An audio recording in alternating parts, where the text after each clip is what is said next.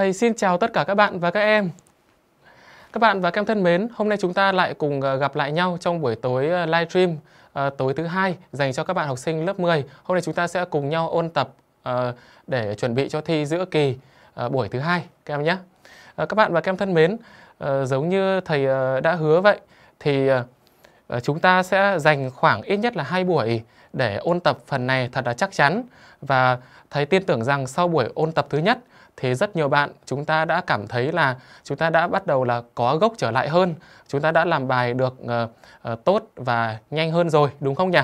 Và thầy tin tưởng rằng những bạn nào mà kể cả vừa rồi các em thi rồi thì chắc chắn các em cũng ờ, thấy là chúng ta trúng rất nhiều câu uh, có cái dạng đề tương tự giống như mình ở trong đề đúng không nhỉ? Và chắc chắn là thầy nghĩ là các em cũng đã đạt được điểm số tương đối là cao. À, tiếp tục hôm nay chúng ta sẽ cùng để ý nghiêm túc vào cho thầy và đề ngày hôm nay thầy sẽ tăng cái lượng câu hỏi lên rất nhiều gồm cả đại và hình. Hôm nay chúng ta sẽ có những hơn 50 câu hỏi trắc nghiệm đó và trong này thầy đã hướng dẫn cẩn thận bằng cả hai cách chi tiết và cả bằng trắc nghiệm và tự luận. Bởi vậy, buổi học hôm nay có thể nói là buổi học quan trọng nhất vì lần sau không chắc chắn rằng là sẽ có buổi thứ ba nữa đâu. Nhớ chưa? Thầy đánh giá rằng đây là buổi học uh, tiêu biểu và quan trọng nhất, cấp thiết nhất.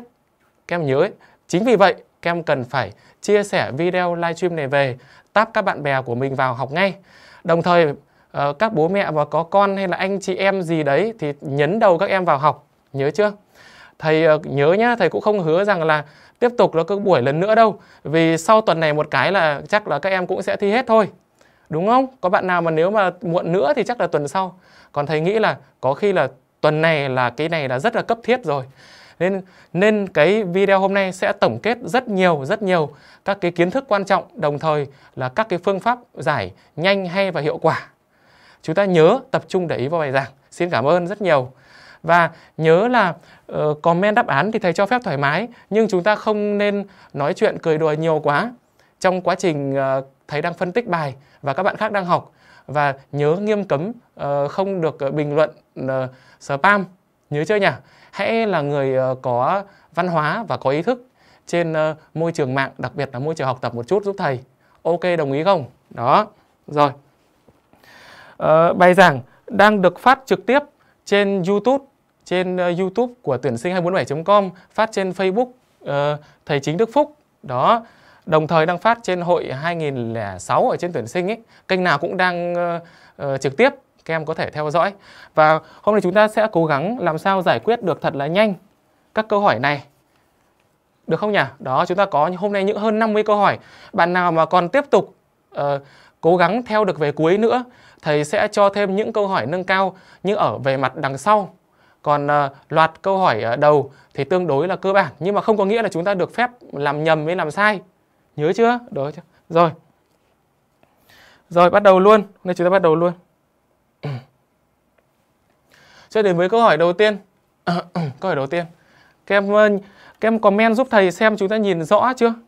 Xem nhìn rõ các thứ không? Đó, nghe rõ có ổn không? Đó. Hôm nay được coi là buổi học rất là quan trọng. Nhớ chưa nhỉ? Có khi học cả năm hoặc là có khi cũng chưa chắc là quan trọng được một bằng một cái buổi ôn tập đâu nhớ đấy nên chúng ta comment thật là nhanh vào nhé đó comment thật là nhanh thầy sẽ trả lời cho các em rồi cho nghe rõ chưa có nhìn được không?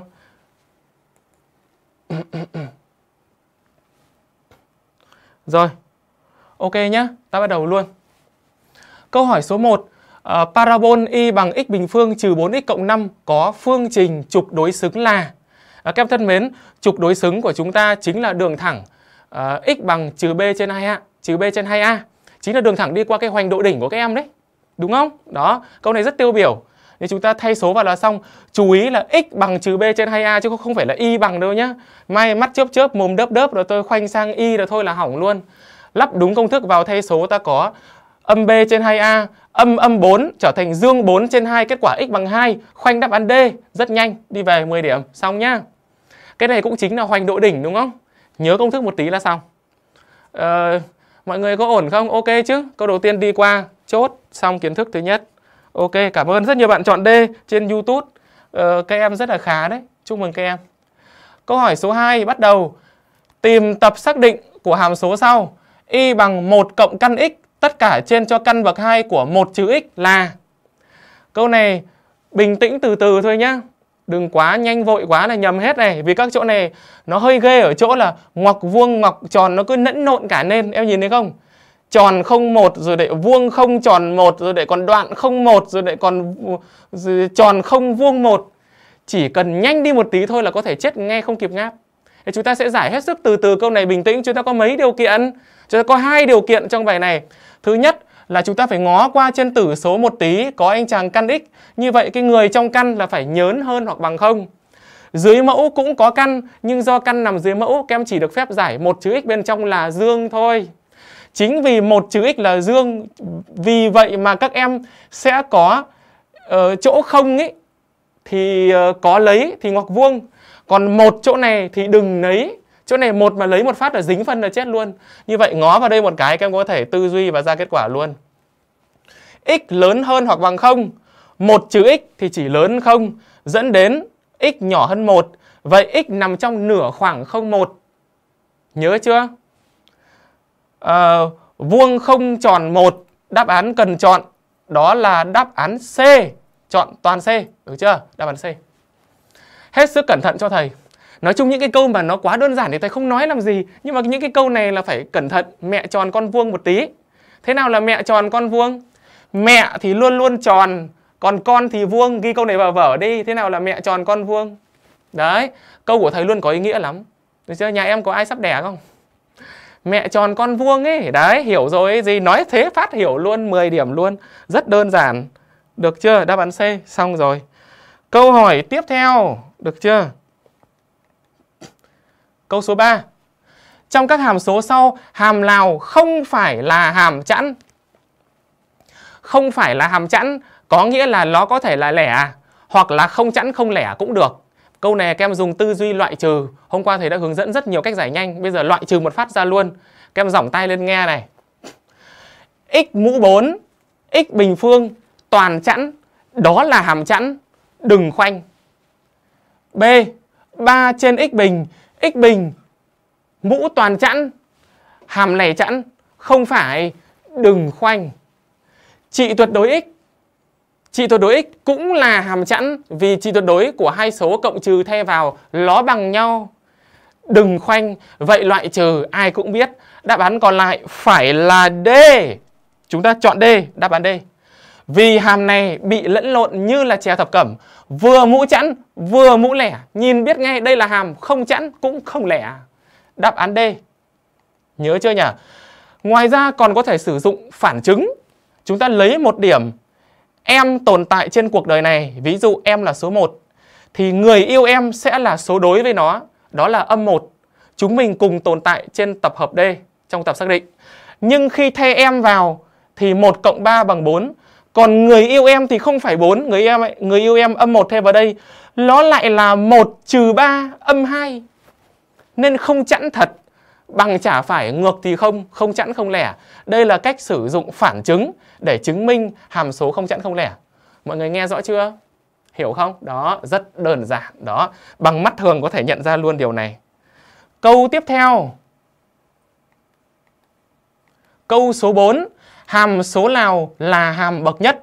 Câu này chắc em nhìn ra luôn, câu này cho điểm. Hàm số bậc nhất của em là hàm có dạng y bằng ax cộng b. Trong đó a khác không. Hệ số đứng đầu với khác không ấy. Vậy nhanh chóng chúng ta sẽ chọn cho thầy đáp án. Đây rất nhiều bạn chọn đáp án nào này, nhanh. Nào, nhìn tư duy loại trừ biết ngay.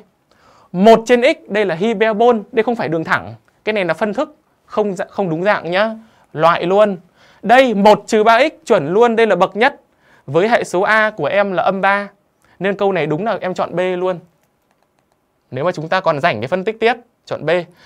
Còn đây là hàm hằng, hàm hằng của em không phải hàm bậc nhất. Cái này hệ số A nó bằng không mất rồi, lên suy biến mất rồi, bỏ qua. Hàm này hàm bậc 2. Câu này cho điểm nhá. Nhìn biết x mũ 1 mới biết ngay rồi. Chuẩn chưa? Như vậy hôm nay tổng kết rất rất nhiều các cái kiến thức quan trọng các em có thể trước đó nhiều bạn ngơ ngơ không biết gì nhưng mà ít ra phải ôn vài buổi cẩn thận này cho thầy. Mai điểm cao như thường, thầy đảm bảo luôn. Nhớ nhá, nhớ chưa? Câu số 5, hàm số nào mà đồ thị của nó đi qua hai điểm điểm A 0 trừ 1, điểm B 31. Đây là bài toán lập phương trình đường thẳng đi qua hai điểm cho trước AB. Các em có hai cách làm. Một, em có thể gọi đường thẳng có dạng y bằng ax cộng b, thế hai điểm này vào rồi giải hệ. Đấy là cách thứ nhất. Bấm máy tính là ra. Cách thứ hai, các em thay trực tiếp các điểm này vào các đáp án, cái nào thỏa mãn cả hai ôm luôn thì tùy các em, đàn tùy bà luôn, tùy bà luôn. Thích làm thế nào ok hết. Nhưng trong trường này thầy nghĩ thay vào nhẩm nhanh hơn. Thay không vào thì nó phải ra trừ một Loại bỏ đáp án D. Thay 3 vào nó phải ra một Thay 3 vào nó phải ra một Nhẩm ra luôn. Đáp án là C. Được chưa nhỉ? Chọn toàn C. Đúng thế thật. Nhẩm một tí. Nó cho mình ba này không phải để ngu đâu. Để mình thay vào luôn để cho nó chết luôn đi mà. Nhẩm ra một cái luôn. Hàm số này sẽ là 2 phần 3x trừ 1. Các em biết tư duy rồi nhá. Ở đây ai thích giải hệ thì giải tùy. Tí nữa có câu, câu khác. Nếu người ta cho thông tin khác thì có thể giải hệ tùy nhé. Có một số bài toán người ta sẽ cho em đồ thị là một đường thẳng. Em sẽ phải đọc cho thầy tọa độ ít nhất là mấy điểm nhỉ? Hai điểm. Rất đơn giản. Được chưa? Câu này phải làm được và làm rất nhanh. Mọi người kết thúc câu này chưa nhỉ? Chọn C. Nhớ chưa nhỉ? Rất nhanh. Chúng ta nhanh chóng đến với câu hỏi tiếp theo. Câu số 6. Với những giá trị thực nào của M thì hàm số sau y bằng m bình trừ 4 tất cả nhân x rồi cộng với 2m trừ 1 là hàm bậc nhất. À, câu này thì chắc là các em cũng đã học uh, lý thuyết cẩn thận rồi thì chắc là các em cũng đã nhìn nhận ra rồi. Nếu thực sự muốn đây là hàm bậc nhất, ta chỉ cần đặt một điều kiện duy nhất đó là a khác không. Còn cái hệ số b đằng sau có hay không không quan trọng, miễn là xác định là được. Như vậy chúng ta chỉ cần đặt điều kiện cho m bình trừ 4 là khác không thôi. Nhẩm trong đầu tư duy một tí là m khác cộng trừ 2 nhanh như chớp chúng ta sẽ chọn đáp án. Cẩn thận nhá. Có ai chọn B không? Lại chuẩn bị M bằng cộng trừ 2 là thôi hỏng đấy. Nhớ chưa? M khác cả cộng trừ 2 đáp án của em là đáp án tiếp tục là C. Chọn toàn C. Chính xác. C các em lưu ý, rất nhiều bạn bảo, thưa thầy, mình có cần đặt điều kiện cho B khác không không? Em nghĩ là nó phải là D. Nhiều bạn lại bảo là, M khác thêm 1 phần 2 không không cần. B bằng không hay khác không kệ, không liên quan. Đúng chưa? B có hay không? Không quan trọng. Quan trọng là a ấy. nhớ chưa? Đó, quan trọng là a chọn toàn c. C, đúng rồi. Nhớ chưa nhỉ? Câu này là các em làm được. Cái b của em xác định rồi. Rất là nhanh nhá. Câu này là phải ờ, phát một ăn luôn. Phút mốt luôn, ăn luôn không được ờ, uh, trần trừ những câu này 7. Đồ thị hàm số y bằng x bình trừ 6x cộng 8 là một ba gia vôn có tọa độ đỉnh y là Câu này đã hướng dẫn các em giải bằng cả hai cách rồi. Cách 1 là sử dụng công thức đỉnh y là trừ b trên 2a trừ delta trên 4a. Thực ra là tính được hoành độ đỉnh rồi bỏ tỏm nó vào đây một cái là ra luôn. Cách thứ hai, bấm máy tính 153 bằng bằng bằng 3 lần ra luôn, thầy đã dạy từ bài trước. Bài này bằng càng nhanh càng tốt cho thầy. Ra luôn nha. Kết quả, nếu tính theo công thức, kết quả sẽ là 3 âm 1. 3 âm 1 lên đáp án cần chọn của em là B, rất nhiều bạn trả lời chính xác. Ngoài ra, hôm trước bạn nào mà chưa nghe rõ về phần bấm máy tính, các em cùng tập trung đẩy lên bảng thầy hướng dẫn chi tiết về cách bấm máy tính. Nhìn lên bảng nhá. Bước 1, vào mốt 53 nhập, nhập giống như phương trình bậc 2 bình thường ấy. 1 trừ 6, 8. Nhớ chưa?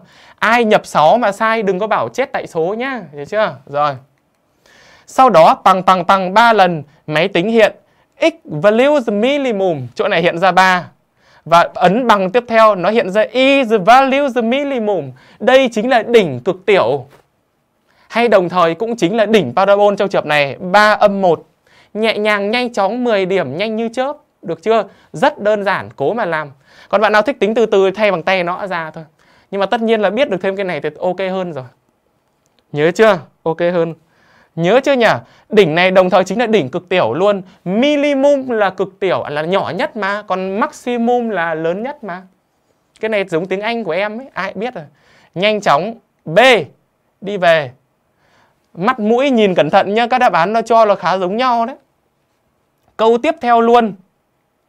8 Hôm nay thấy đi nhanh hơn hôm trước vì các em đã có kinh nghiệm hơn trong ờ, buổi đầu tiên rồi. Đồng thời trong bài ngày hôm nay thì kiến thức cũng đã được vững vàng hơn. Cố gắng comment bình luận nhanh hơn một tí nhé và cố gắng theo kịp các bạn. 8. Tương tự, tính nhanh cho thầy đỉnh parabol của y bằng trừ x bình cộng 6x trừ 5. Các đáp án có vẻ khá giống nhau. Các em ấy, trong đầu ấy, thì công thức thì có vẻ thuộc đấy. Nhưng nhiều khi các em thay số vào, công thức thì là trừ b trên 2a. Mai, trừ trừ các thứ, nó cứ lẫn lộn cả lên, chả biết 30 trừ 3 thế nào đâu. Thế là có phải có một cái gì đó nó chắc chắn khi không có thầy bên cạnh. À nhưng mà thầy dạy rồi, mình sẽ tự tin hơn rất nhiều nhiều khi mình, ôi chết rồi, vào không biết trừ b trên a hay là trừ b trên 2a nhỉ? Điên hết cả đầu. Rồi không biết là trừ trừ thành cộng hết 3 hay trừ 3 nhiều khi không chắc thì có thêm những cái thầy hướng dẫn. May về sau khi kiểm tra, giọng của thầy lại văng vẳng ở bên cạnh. À thầy ơi, em lại làm được rồi. Rất là nhanh chóng, chúng ta lại có x the value the maximum bằng 3 và y the value the maximum bằng 4 kết quả chọn 3 4 đi về. Đáp án C. Rất là nhanh. Người ta chỉ làm có 3 giây thôi, còn mình nhẩm nhẩm mãi có khi toàn nhầm thì đấy là lỗi tại mình, không phải tại thầy đâu nhá, nhớ chưa? Đỉnh này chính là đỉnh cực đại. Vì parabol chổng mông xuống đất, lên đỉnh này là đỉnh cực đại. Nhìn là biết rồi, chỗ này nó hiện ra maximum là quá đúng nó có một sự phù hợp không hề nhẹ ở đây. Mọi người nghe cho thật kỹ nhá, bí quyết 10 điểm làm hết ở đây này, nghe cho thật kỹ. 9 bây giờ, ôi tuổi chết rồi, câu 9 bị lộ hàng rồi. Câu 9 e tăng. Câu 9 trước khi sang câu 9 uh, dừng hình một tí. Được chưa? Câu 9 thì như là bị bị bị uh, lộ hàng. Câu 9 phải để thầy uh, uh, bổ sung thêm đợi thầy một chút câu 9 thì thầy sẽ bổ sung thêm. Câu 9 là phải có cái uh, cái cái cái bảng biến thiên.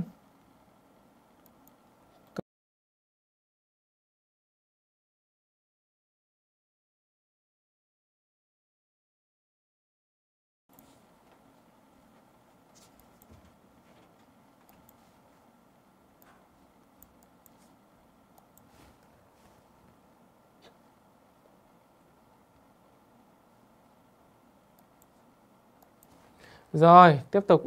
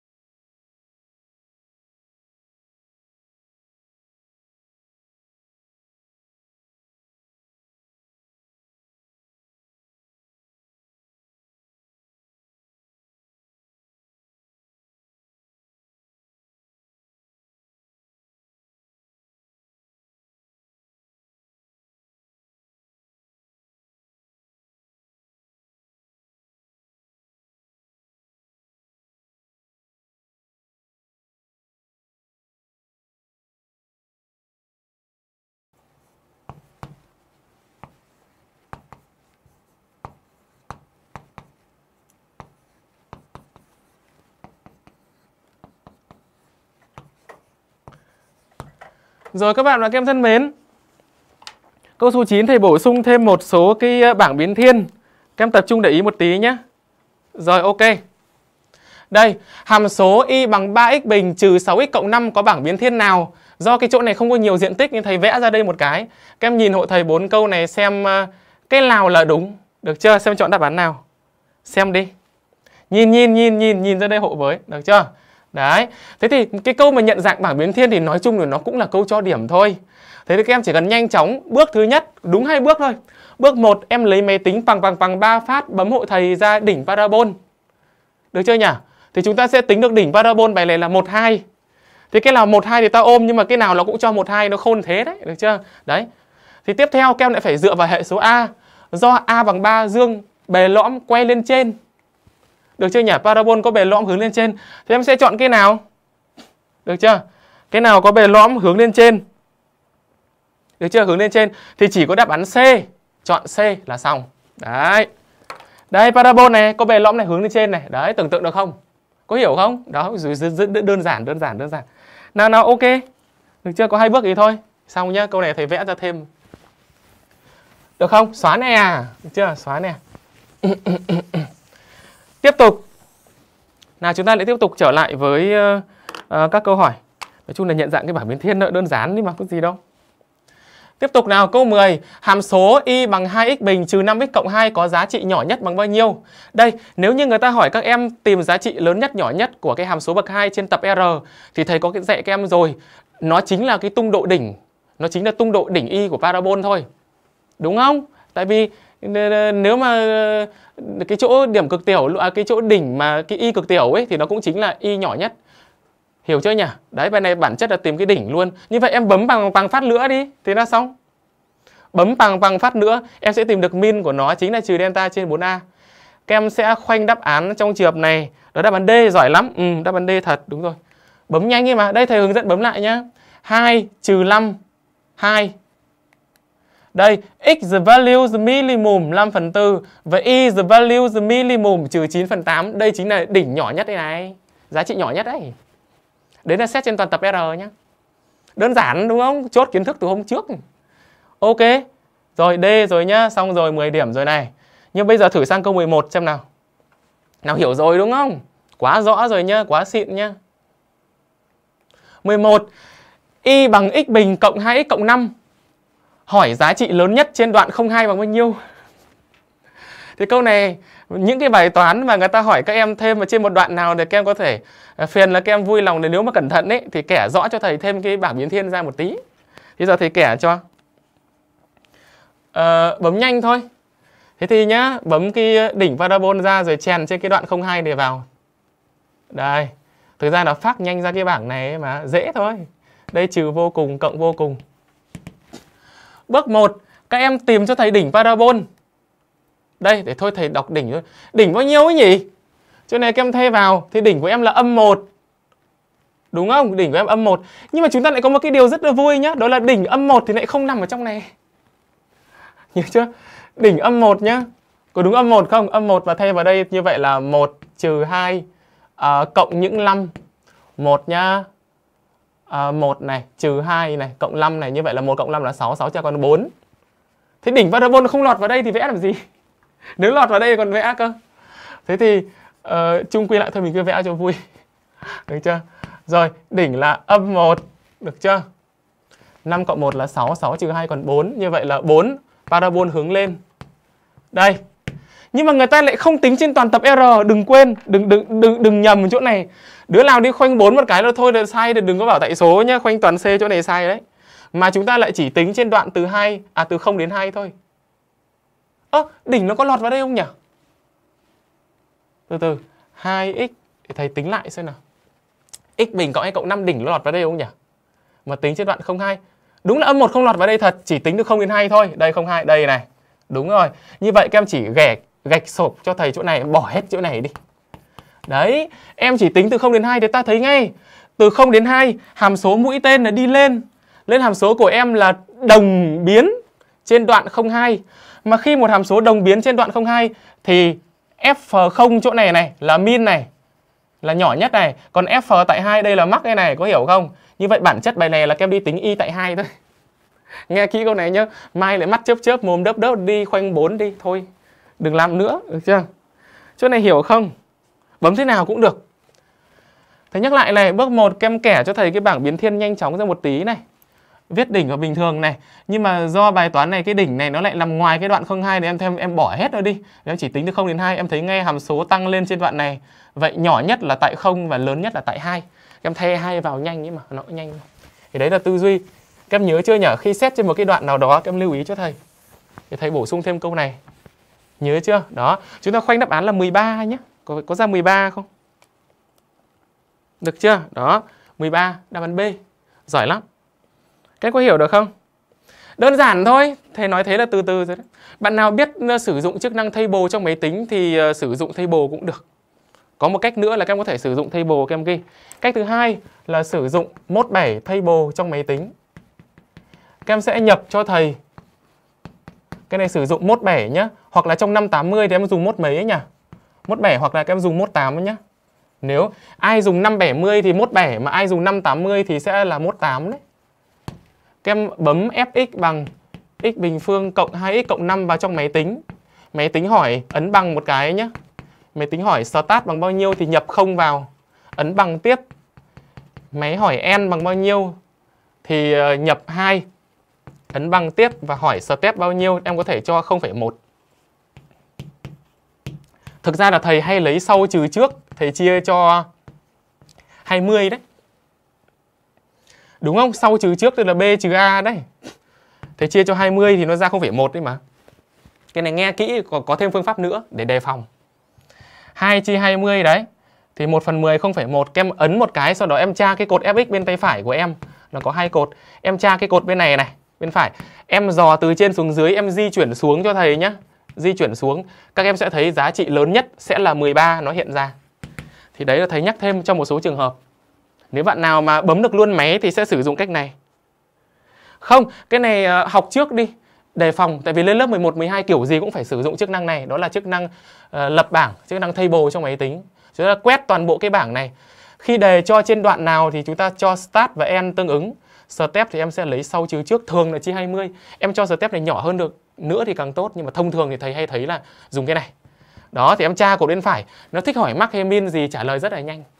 Còn bạn nào mà thích làm tự luận bình thường, các phải kẻ bảng giống thầy. Sẽ không được trả lời thế này, trả lời thế này, cô giáo lại không tin đâu, cô lại bảo là cô không hiểu. Hiểu chưa? Hiểu không? Nó ra hết đấy, bấm thử mà xem nó ra hết đấy. Xóa này. Ghi vào vở đi, để mai nếu biết đâu lại có vài câu này nữa thì ăn thêm điểm còn nếu mà xét trên toàn tập R thì các em không cần dùng cách này.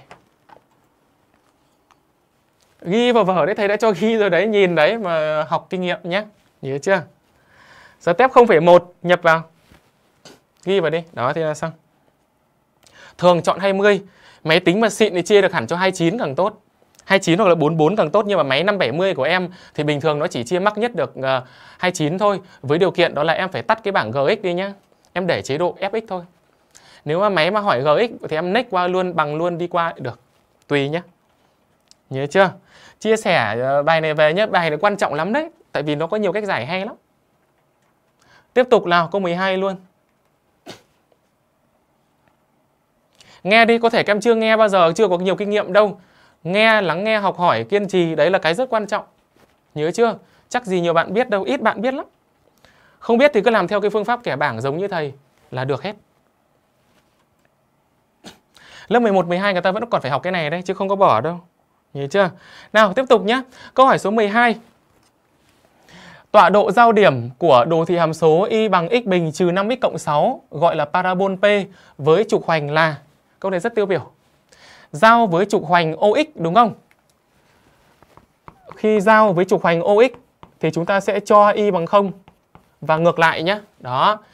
Như vậy chúng ta giải phương trình x bình trừ 5x cộng 6 bằng 0. Chỗ này các em bấm máy tính bình thường là sẽ có hai nghiệm phân biệt ngay, đó là 2 và 3. Đúng không? Như vậy chúng ta đọc được giao điểm sẽ là 20 và 30. Cái y này không cần tính nữa nhá, y bằng 0 rồi. Chuẩn bị lại thầy ơi thay vào tiếp để tính. nhiều khi y bằng 0 thì còn tính cái gì nữa đây này khoanh c cho thầy nhé đừng ai khoanh nhầm sang b nhé không sai dáng chịu đấy đấy là câu 12 được chưa câu này đơn giản, đi qua nhanh luôn 13 nhá. bây giờ không phải là giao với các trục, mà là giao với một đường thẳng nào đó thì sao thì câu này khá quen ngày xưa ấy, các em lên được cấp 3 lên được lớp 10 ấy, là chắc chắn em phải biết làm câu này rồi đó là giải phương trình hoành độ giao giao điểm. Chúng ta cho hai cái y bằng nhau là xong nhỉ? Y bằng fx, cần tìm giao điểm với y bằng gx. Tôi cho fx bằng gx là xong. Tôi cho fx bằng gx. Nhanh chóng ta có x bình trừ 7x cộng 12 bằng x trừ 3. Chuyển vế lật cánh sang trái rất đơn giản. Thì chúng ta có x bình trừ 8x cộng 15 lấy máy tính bấm rất nhanh chỗ này hoặc bạn nào nhẩm nhanh được càng tốt thì chúng ta sẽ có hai nghiệm đó là 3 và 5. Vậy nên 3, 5 nhưng mà các em chọn đáp án nào? Rất nhiều bạn chọn C nhá, các em bị lừa hết rồi. Thầy ơi, em làm tương tự câu trước, em chọn C được không? Chết, sai rồi, bài này có giao điểm với y bằng không đâu. Ai bảo y bằng không? Này đứa nào bảo y bằng không đấy? Các em chọn C sai hết rồi, rồi sai hết rồi. Các em uh, bình tĩnh sống thôi. Thầy vẫn đang giải rất cẩn thận nhưng mà các em bị lừa. Các em đã bị lừa. ai bảo với kem y bằng không kem đã thay vào đâu bị biết đi chắc gì y bằng không bị lừa thầy là hôm qua đã phải ngồi soạn cái đề này đến tận mấy giờ sáng để nghĩ được các cái chỗ hay rồi. Chứ không có chuyện là để kem ăn một phát ăn luôn đâu. Thật mà, thầy phải biên soạn ngồi công phu làm những cái này rất cẩn thận. Đấy, và còn gài các ý tưởng vào đây để mong cho kem rút được kinh nghiệm chỗ này. Thế thì chỉ có kem thay ba vào thôi, thì nó ra y bằng không? Kem thay năm vào nó ra không à? Úi rồi ôi lớp 10 có khác. Thấy chưa? Có thấy là thầy luôn đi trước em một bước không? Các em làm sao mà bằng các thầy cô được được chưa? Đi trước em một bước. Các em đừng chọn C, các em chọn C là các em bị lừa rồi. Đáp án cần chọn của chúng ta. Cái này rất nhiều bạn đã chuyển đổi đáp án rất là nhanh. Thầy ơi, thử thầy thí tôi mà. Thử phát một điểm về chỗ đấy. Ra lớp và thử cô giáo ở lớp ấy, một điểm về chỗ ngay. Được chưa? Đáp án A, được chưa? Người ta không hề nói giao với trục hoành. Úi giời ơi. Năm hai nha, được chưa? thầy ơi, chỗ này ra không rồi, lười tính quá. Lười thì chết đấy, chứ không bệnh lười là chết trước tất cả mọi bệnh đấy. Được chưa?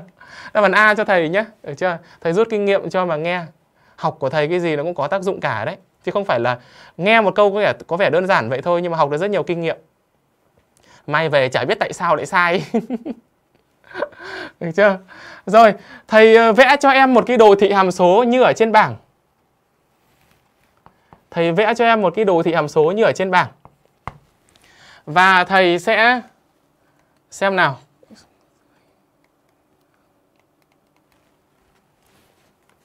Thầy vẽ cho em một cái nhé. Nhá. Đây. Thầy vẽ cho em một cái đồ thị parabol như ở trên bảng và yêu cầu nhận dạng cho thầy. Đây. Các cái hệ số ABC. Đây là câu hỏi khá là tiêu biểu và quan trọng. Ờ, thi đại học cũng có những câu kiểu như thế này này. Các em ờ, cùng suy nghĩ nhé. Được chưa? Đây, người ta vẽ cho em parabol kiểu như thế này rồi và yêu cầu các em nhận dạng xem nhận dạng ờ, giấu các hệ số ABC âm hay dương. Câu này cũng rất là hay. Nhiều trường sẽ có câu này đấy. À, quan sát nhé, qua nhiều trường sẽ có câu này. Thì những câu này thầy xin nhắc lại là có thi đại học nhá, đừng có bảo với tôi là không thi, có thi nhá, có thi. Đừng có tưởng dễ quá mà không thi đâu, tôi không đùa nhá, tôi không bao giờ đùa. Nào, ai biết phân tích những câu này rồi? Ai biết phân tích những câu này rồi? Chúng ta sẽ phân tích từng bước một, nghe thầy chỉ chỗ này nhé. Bước 1, chúng ta sẽ nhận dạng A bằng cách nhìn bề lõm của parabol hướng xuống. Vậy chứng tỏ hệ số A của em sẽ phải là âm, A âm, A âm. Đúng không? Rất nhiều đáp án toàn A âm. Tiếp tục chúng ta sẽ nhận xét về hệ số tự do là C. Chúng ta sẽ nhìn vào giao điểm. Thế này.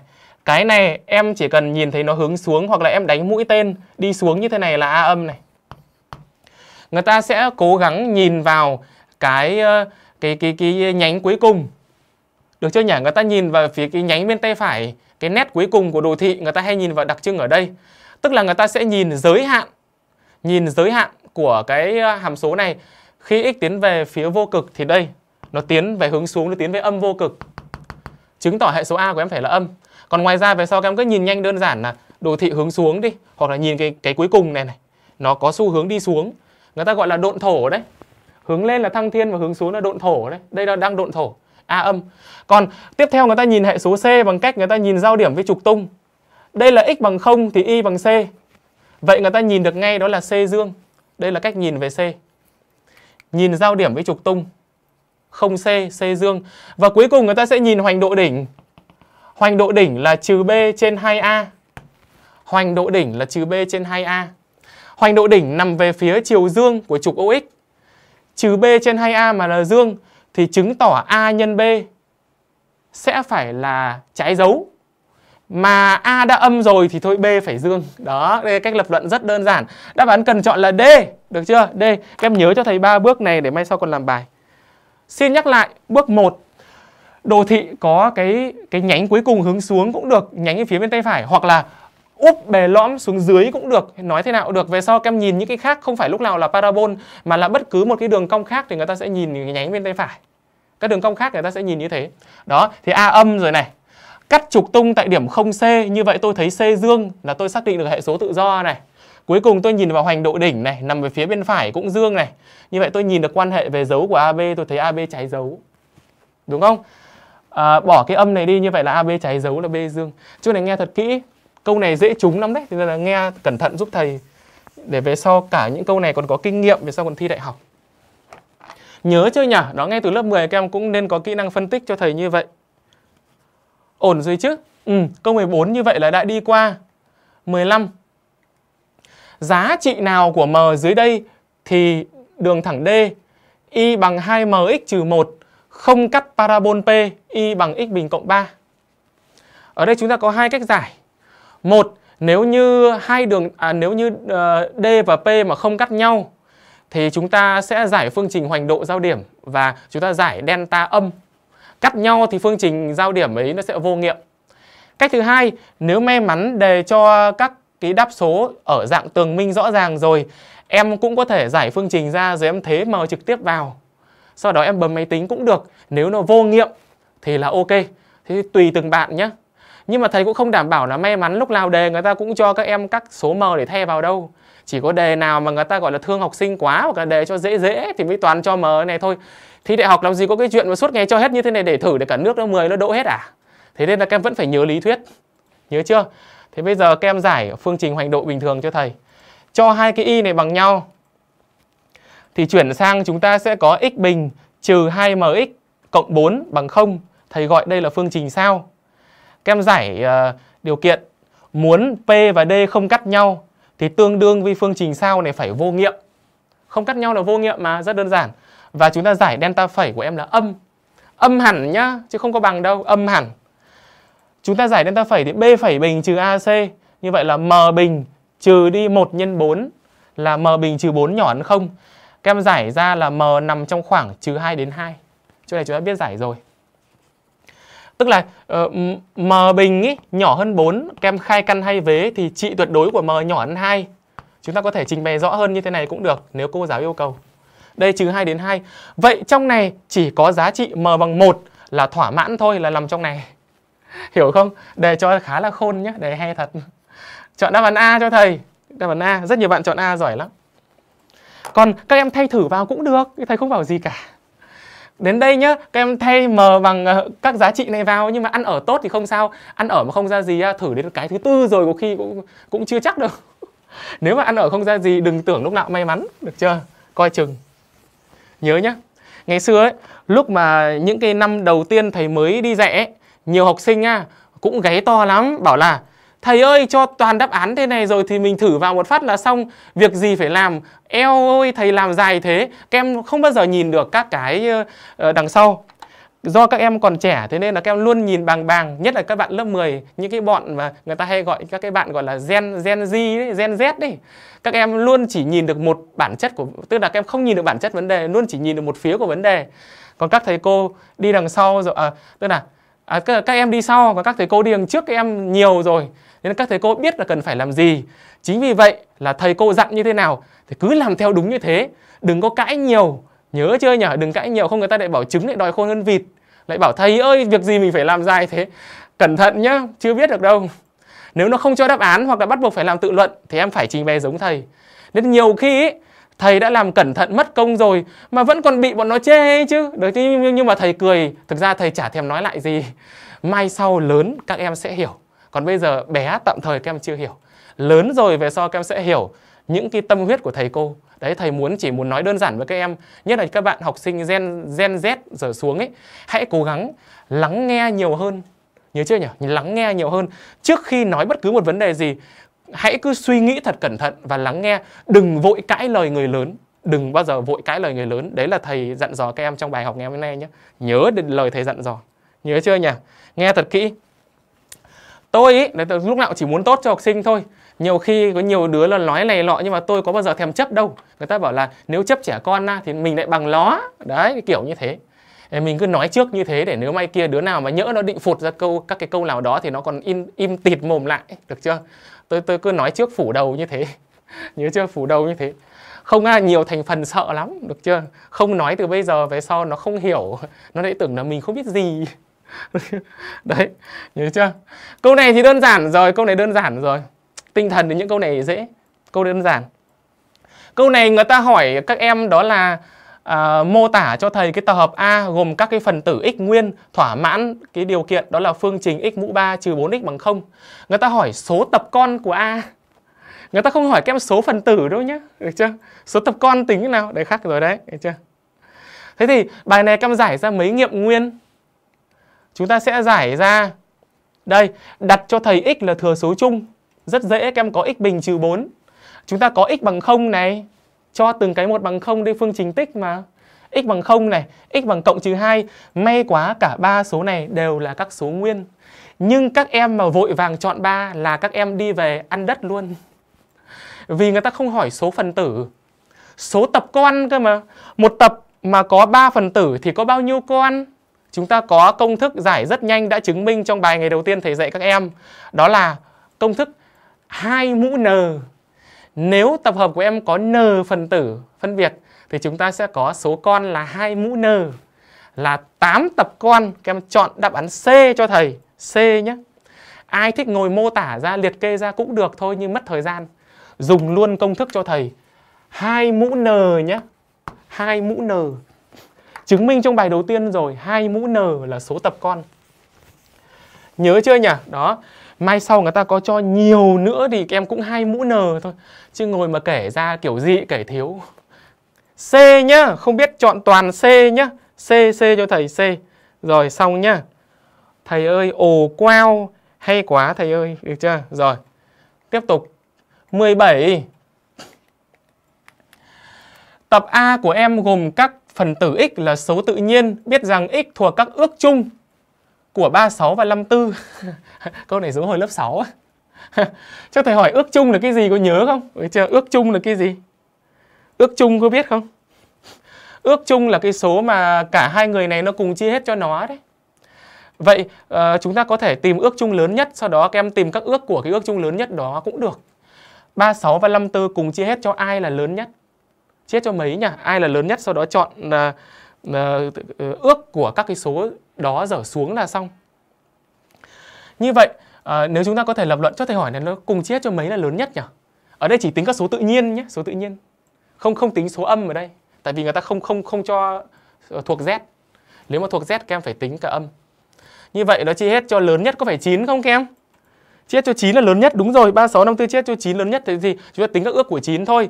Đó là 1 2, 3, 9. Cho thầy hỏi này, ở đây thầy viết đúng hay sai? À, có chia cho hai không nhỉ? Ơ, à, từ từ. 9 à? Ơ, à, có cả hai à? Ơ, à, 2 có mà. Ơ, thì đứa nào vừa bảo 9 đấy? Sao lại 9? Hai kia lại 36 chia cho 2, 54 chia cho 2. Sao lại 9 nhỉ? 18 chứ. Đứa nào bảo 9 đấy? Đứa nào vừa suy dại thầy đấy? 18 chứ. Được chưa? Bị lừa rồi. Trời ơi bị lừa rồi. Thế thì câu này phải là một. Đấy, cẩn thận nhá, thầy thầy thử tí thôi. Rất nhiều đứa vừa nói với thầy trong comment vừa bảo chết cho chín xong. 18 nhá. Sửa lại. 18, được chưa? Câu này cẩn thận. Lớn nhất phải chết cho tận 18. Như vậy, đừng chọn B mà kết quả phải là C. Được chưa? Chọn C bây giờ đúng. Cẩn thận thầy thử chỗ này một tí đấy. Được chưa? Em đọc em đánh mắt lên và xem rất nhiều đứa vừa rồi nó vừa bảo là lớn nhất là chia hết cho 9 xong. Đây này, vẫn còn nguyên giấy trắng mực đen đây này. Rồi, đâu đã xóa được comment đâu, được chưa? 18 đấy. 1 2 Ơ thì vẫn thiếu. Ơ quái nhỉ? Ơ thiếu rồi. Chết rồi câu này thiếu 18 chứ nhỉ Chết rồi câu này lừa Lừa hết cả rồi. Thiếu rồi, chọn 5 là sai rồi, Sửa lại thành C, chọn 6 đi. Hoặc là nếu không thì chọn B, Quay trở lại, sửa đáp án B thành 6 18 thiếu rồi, Còn có cả 6 nữa. Chết chưa? Chết cha, Được chưa? Chết chưa? Suýt toi Đấy, câu đơn giản và rất dễ có thể nhầm đấy. 18 1, 2, 3, 6, 18 Chọn đáp án là 6 Đáp án B. B. Câu này thầy cố tình gài vào thế đấy. Thầy cố tình gài vào thế đấy. Để xem các em có chọn 4 không thôi. Được chưa? Thầy cố tình gài vào thế đấy. Được chưa? Hiểu không? Rồi ok, cảm ơn rất là nhiều. Câu này không có ai thắc mắc gì nữa nhá. Đúng là phải 18 thật. Nhiều khi xích toi. 18 nào. Đứa nào mà chín một phát ở đây là thôi là chết luôn. không thầy cố tình ờ, gài vào thế để xem có nhận ra không thôi. Được chưa? Hiểu không? Đó. Có gì thắc mắc không nhỉ? Không ai thắc mắc gì chứ, được chưa? Thầy bịp rồi, úi rồi tôi mà thèm bịp à? Tôi chỉ thử thế thôi, được chưa? Quay trở lại với câu 18. Tập A của em 01 23 45. Tập B 1 3 5 6 8 9. Cái nào sai? Eo ơi. Câu này ngồi phân tích từng cái một nhé. Sợ quá phân tích từng cái một nào. Em em em em em thử tự làm đi, chỗ này thầy không phân tích nữa đâu mỏi lắm. Nào có làm được không? Chọn gì nhỉ? Chọn B à? Ừ giỏi nhỉ. Chọn B nhé. Ừ B. Thông minh nhỉ? Ừ, nhiều bạn nhanh như chớp ấy. Thí dụ chúng, chúng ta có thể tìm giao trước nhá. Ví dụ thế đi, tìm giao là phần chung. Phần chung của em là 135, ở đây cũng 135. Ờ chuẩn đấy. Thế hợp xem nào hợp 0 1 2 3 4 5 6 8 9 chuẩn luôn. Đừng đừng khoanh nhá. Thế thì B trừ A, à đâu A trừ B trước xem nào, tức là con riêng của A đấy, con riêng của mẹ em đấy, con riêng của A. Con riêng của A thì chúng ta bỏ đi 1, 3, 5, như vậy là còn uh, uh, 0, 2, 4. Câu A thì vẫn đúng thì, thì loại trừ chỉ còn B thật. B trừ A không thể ra 3, 5, 6, 9 được. Đúng chưa nhỉ? Con riêng của A, à con riêng của B ấy, nó chỉ có 6, 8, 9 là con riêng của B mà thôi. Còn 35 lại còn 6, 9 thế này là không phải rồi, câu này lừa. Được chưa? Lừa. Coi chừng nhé. B. Con riêng của B cái này chúng ta nhìn được rồi, rất là dễ thôi, không không quá khó. Câu này sai thật. Tiếp tục. 19. Hết sức bình tĩnh. Trong mặt phẳng P người ta cho em 5 điểm phân biệt và số vectơ khác vectơ 0 ờ, lập từ các cái điểm đầu điểm à, điểm đầu điểm cuối của nó lấy từ 5 điểm trên thì em lập được bao nhiêu vectơ? Câu này cũng là một câu về mặt hình học khá hay. Bao nhiêu? Bao nhiêu? Nhẩm nhanh một tí là bao nhiêu? Rất dễ. Để thành lập một vectơ, chúng ta sẽ phải cần lấy hai điểm bất kỳ là sẽ có một là ít nhất có một vectơ. Chọn điểm đầu tiên, thí dụ điểm A chẳng hạn, thì chúng ta có 5 cách chọn. Chọn điểm ở cuối B chẳng hạn, thì chúng ta còn có 4 cách chọn. Như vậy chúng ta theo quy tắc nhân lại cái này của lớp 11 đấy. 5 nhân 4 20. Cả lớp có ra 20 không? Rất đơn giản. Các em nhớ chưa nhỉ? Công thức nhanh chỗ này sẽ là n nhân n trừ 1. Đây là số vector nhé. Các em ghi vào vở. C 20. C C C C C 20 n nhân n trừ 1. Nhanh ấy mà cái này đơn giản đấy. Đúng không? Lấy hai điểm bất kỳ ra. Đơn giản đấy. Nào được chưa? Công thức nhanh đấy. À, rồi. Uhm, giờ toàn hình. À đâu, không phải toàn hình đâu mà điểm qua vài câu hình vào cho vui. Là bắt đầu bạn nào mà chưa làm được hình thì để ý vào cho thầy nào. Cho tam giác ABC vuông cân tại B. AB có độ dài bằng A nhỏ. Hỏi độ dài của tổng hay đây, độ dài của vectơ tổng AB cộng BC bằng gì? Ôi câu này cho điểm rồi, câu này không cần vẽ hình đâu. Tôi vẽ cho vui nhá. Vẽ để còn tính toán thôi chứ vẽ cho vui mà. A nhá, B nhá, C nhá, vuông cân tại B nhá. Đây A thì đây A nhá. Đầu tiên ta xác định vectơ tổng đã rồi tính độ dài. Ôi thì may quá. Theo quy tắc cộng thì triệt tiêu bỏ cái người trung gian ở giữa. Ôi may thế. Như vậy chúng ta lấy điểm đầu điểm cuối thôi. Thế nào mà loại ra luôn vectơ AC mà AC nhẩm theo Pythagore thì đúng là các em phải nhẩm rất nhanh. Chúng ta có A căn 2 đi về chọn đáp án D rất nhanh. Vuông cân, hôm trước thì cho ta nhiều tam giác đều rồi đấy. Vuông cân nhẩm là một cái điều rất là nhanh. Có tư duy được nhanh như thế không nhỉ? Đó. A, A, A căn 2, xong luôn hết tuồng. Đơn giản. Ừ. 21. Cố mà làm đi may khối câu trúng đề đấy. Thầy đã gọi là đã phải ờ, thực ra đấy em thấy không?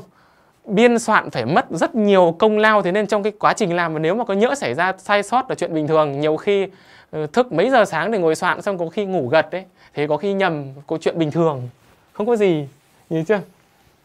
Đây này câu này thì làm cũng được này. Tam giác đều cạnh A tính độ lớn của vector AB trừ vector CB trừ vector BA Có làm được không? Như một phản xạ tự nhiên khi gặp các cái phép trừ này là chúng ta hay đổi thành phép cộng thì nó dễ làm bài. Trừ trường hợp chúng ta gặp hiệu của hai vectơ chung gốc ở đầu rồi thì các em có thể tính ra nhanh. Còn bình thường nếu em không biết gì nhé, tốt nhất em đổi thành phép cộng rồi em giao hoán vị trí của vectơ đi là ra. Được chưa?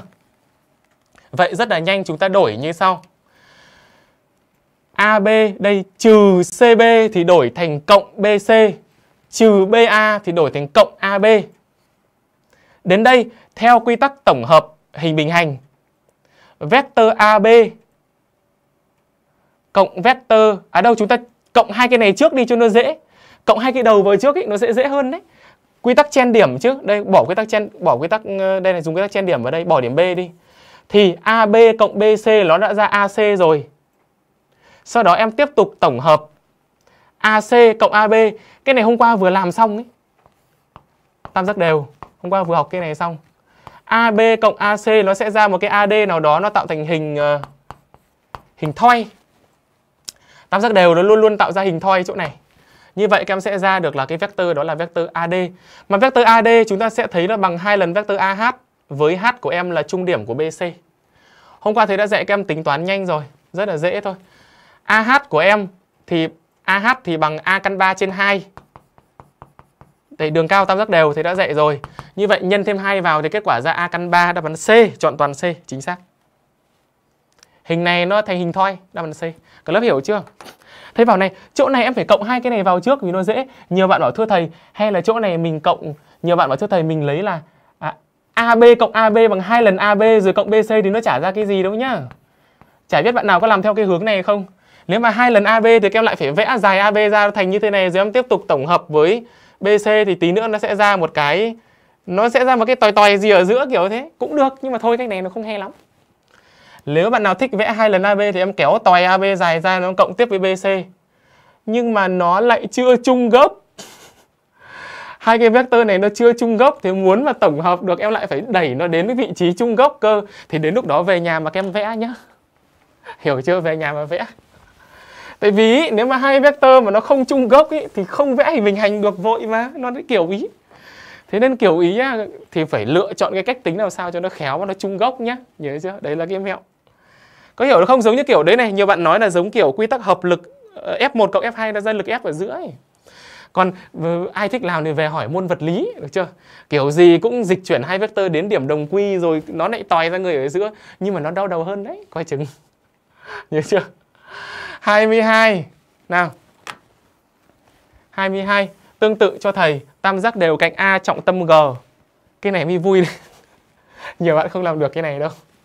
Tính độ lớn của vector GA cộng 2 lần GV cộng 2 lần GC có làm được không? Thử thử tí đi xem có làm được không. Cái bắt đầu nguy hiểm hơn đấy. Vì cái dễ dễ làm nhiều rồi, đúng không? Thì thử bài cái này một tí xem có làm được không. Được chưa? Ok, các em sẽ vận dụng cho thầy một số cái tính chất trung điểm, tính chất trọng tâm để làm bài trong những câu này. Ở đây chúng ta nhận ra tính chất trọng tâm. Chúng ta sẽ có tổng của vector GA cộng GB cộng GC sẽ bằng vector 0 theo tính chất cân bằng trọng lực đấy, giống như ở trong vật lý. Như vậy chúng ta nhanh chóng tách cái chỗ này ra. Thì chúng ta sẽ chỉ còn thừa đó là đây GA cộng GB cộng GC thì em còn bớt lại cho thầy GB cộng GC.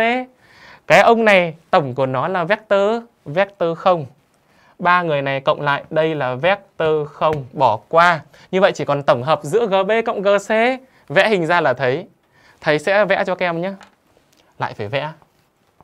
Đây. A, B, C. Đây. Gọi Y là trung điểm BC đồng thời là chân đường cao. G nằm ở vị trí 2 phần 3 ở đây. Bây giờ lại chơi cái trò đó là GB để cộng GC.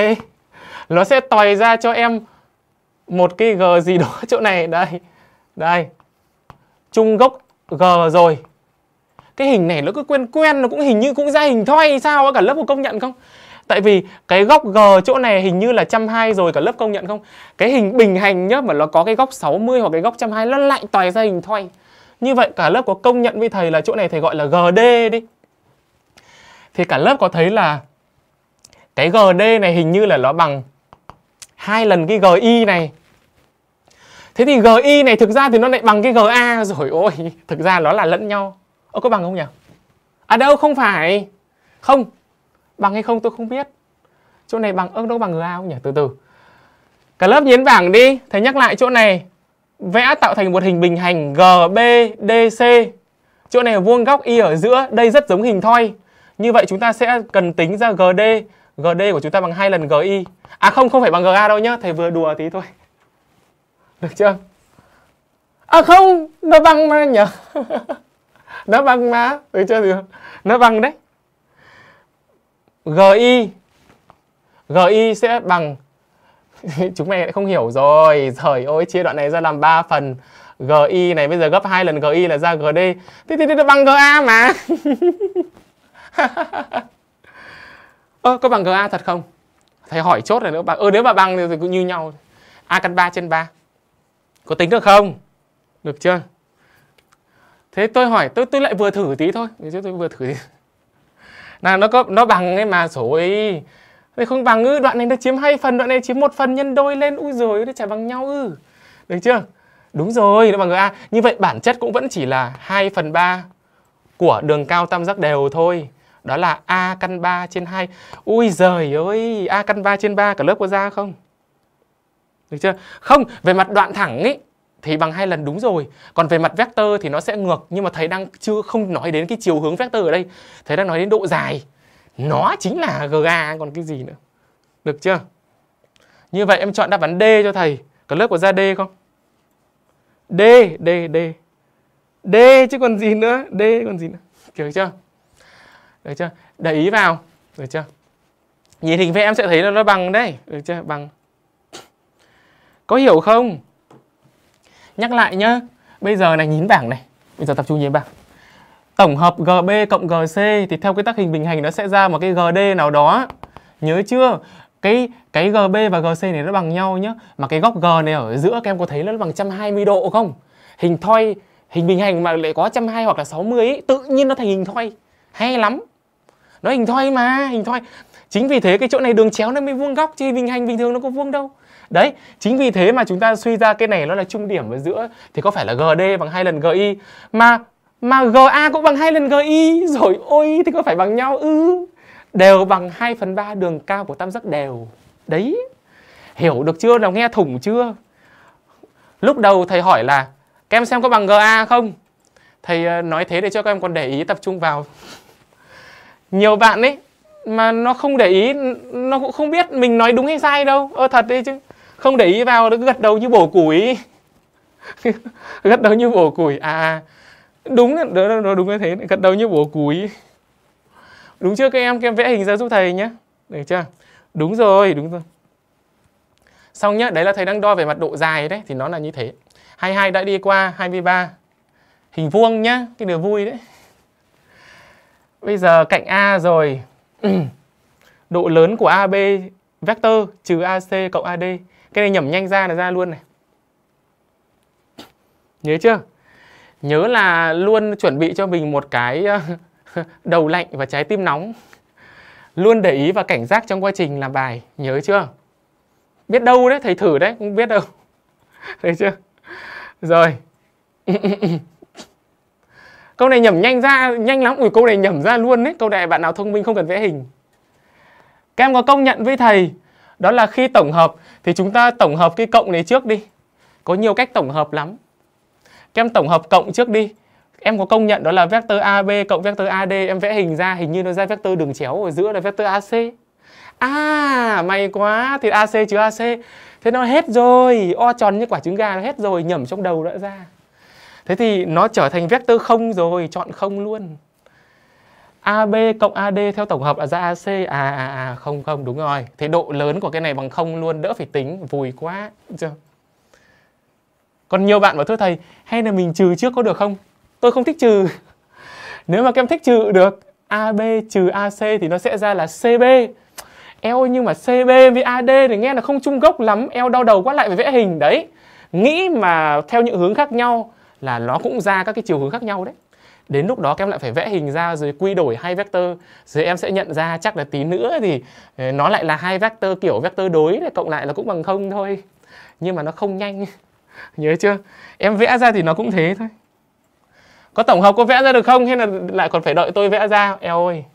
chỗ này mà đợi, lại còn đợi thầy vẽ ra nữa thì vui đây AB cộng AD thì ra AC rồi này đây cũng này. thực ra đây cũng chính là hình bình hành thôi, đúng không quy tắc hình bình hành AC trừ AC chết rồi. Còn cách thứ hai em bây giờ lại trừ trước à thì là CB à? CB cộng AD thì ra khỉ gió gì ấy nhỉ, trả chung gốc. Luôn ưu tiên cái gì mà theo chung gốc ấy hoặc là cùng điểm ở giữa? Em học vector em phải biết rồi còn gì nữa. Em bây giờ lại CB á. CB với AD ôi giời ơi hai vector đối nhau thì đằng nào nó cũng thế. Trời ơi tổng bằng không. Đúng chưa? Nó cũng thế thôi chả khác gì nhau đấy, ok, nhớ rồi nhá. Rồi, câu tiếp theo. 24 hình thoi ABCD cạnh A có góc BAD bằng 120 tính độ dài của vector tổng AB AC AD câu này ai mà tư duy nhanh cũng không cần vẽ hình đâu. Nhưng mà thôi, thầy cứ vẽ cho các em hiểu nhé nào vẽ nào. Nhín bảng. Hình thoi mà lại có góc 120 giống như thầy đã chú ý lúc đầu ấy. Em có làm mấy cái bài tổng hợp lực không? Kiểu gì ở lớp các em cũng gặp mấy cái bài đó là thưa, trong cái bài của em nó hay có cái kiểu là hai người kéo thuyền theo hai cái lực, đó là lực F1 với lực F2 bằng nhau đấy. Được chưa? Rồi nghiêng với nhau tạo ra góc 60 đấy. Rồi tính ờ, lực tổng hợp F của em bằng bao nhiêu ấy. Đấy đấy, cái câu này này nó cũng chính là câu này đây tính độ lớn lực F tổng hợp bằng bao nhiêu? Ở lớp của ai hay gặp cái câu tổng hợp lực này không? Hai người cùng kéo một cái gì đó, nó tòi ra cái ép ở giữa ấy, đấy. Thì đây, nếu người ta cho góc 60 hoặc là người ta cho góc 120 giống như thầy, thì về mặt bản chất nhá, về mặt bản chất đây cũng hình thoi nhá. A, B, C, D, đây, b, a, D 120 thì đây 60 thôi. Đúng không? Chả có gì đâu, đúng không? 120 nè. Đó eo bây giờ lại chơi ba người cộng lại kia. AB cộng AC AB từ từ AB cộng AC là không ra cái thể, thể thống gì rồi đừng cộng. AB phải cộng AD trước thì nó sẽ ra là AC AC cộng AC phát nữa 2AC à 2AC bây giờ các em chỉ cần tính được cái AC thôi. AC các em nhìn bảng nhé thầy dạy cho các em nghe này tư duy này. Cái chỗ này trường hợp rất đặc biệt. Cái tam giác ABC này của em là vốn là tam giác cân rồi vì các cạnh nó bằng nhau nhưng mà lại còn tư duy thêm được có góc 60 nữa ui giời ơi thì tam giác này đều rồi bản chất của những cái bài toán này là đây sẽ là hai tam giác đều nhé cả lớp nhớ cho thầy câu này hình thoi có góc 60 bản chất là hai tam giác đều cạnh A thôi như vậy AC này thực ra là cũng bằng gì thôi nhỉ? Bằng A thôi, nói thật là như thế. cả lớp đánh dấu vào cho thầy như thế này nhé. Mai sẽ gặp những câu này rất nhiều luôn ấy. Được chưa? Kinh nghiệm đặt ra là như thế. Như vậy các em sẽ tính cho thầy 2AC. Thì bản chất là 2A. Đáp án cần chọn. Ô, đáp án A, quên mất chỗ này mình ghi B, quên, sorry. đáp án A, hay a, Cả lớp nhớ chưa nhỉ? Cái này nhớ chưa đặc biệt này chưa nhỉ? Tổng hợp lực cũng thế thôi cũng thế thôi người ta cho em độ lớn của lực F1 lực F2 bằng nhau giờ người ta hỏi độ lớn của cái lực F ý thì nó cũng kiểu nó cũng tương tự như thế nhưng mà trong trường hợp này cái độ lớn lực F này của em thì nó sẽ là bằng hai lần đường cao của tam giác đều vì tam giác này là tam giác đều mà thì cái cái lực F này của em sẽ bằng hai lần hai lần đường cao tam giác đều như vậy thầy nhẩm ra đó là nếu đường cao thì là a căn 3 trên 2 thì cái lực F này của em nó sẽ là ừ, a căn 3 đấy đấy đấy đấy, đấy kiểu ý ở lớp có tư duy được không nhỉ? Câu này là nó nghiêng về vật lý một tí nhưng mà thực ra nó rất là dễ hiểu. Nó chỉ là tổng hợp lực hình thoi thôi. Nhớ câu này chưa? Mai sẽ gặp trong đề đấy. Nhớ chưa nhỉ? Đó, rồi. Câu này của chúng ta đã đi qua xong. Tiếp tục câu hỏi 25. Nghe kỹ chưa? Thầy đã phân tích chú ý rất là cẩn thận từ từ rồi cả lớp nghe thật là kỹ nhé. Đấy là chiều đặc biệt. Quay trở lại với đại số. Được chưa?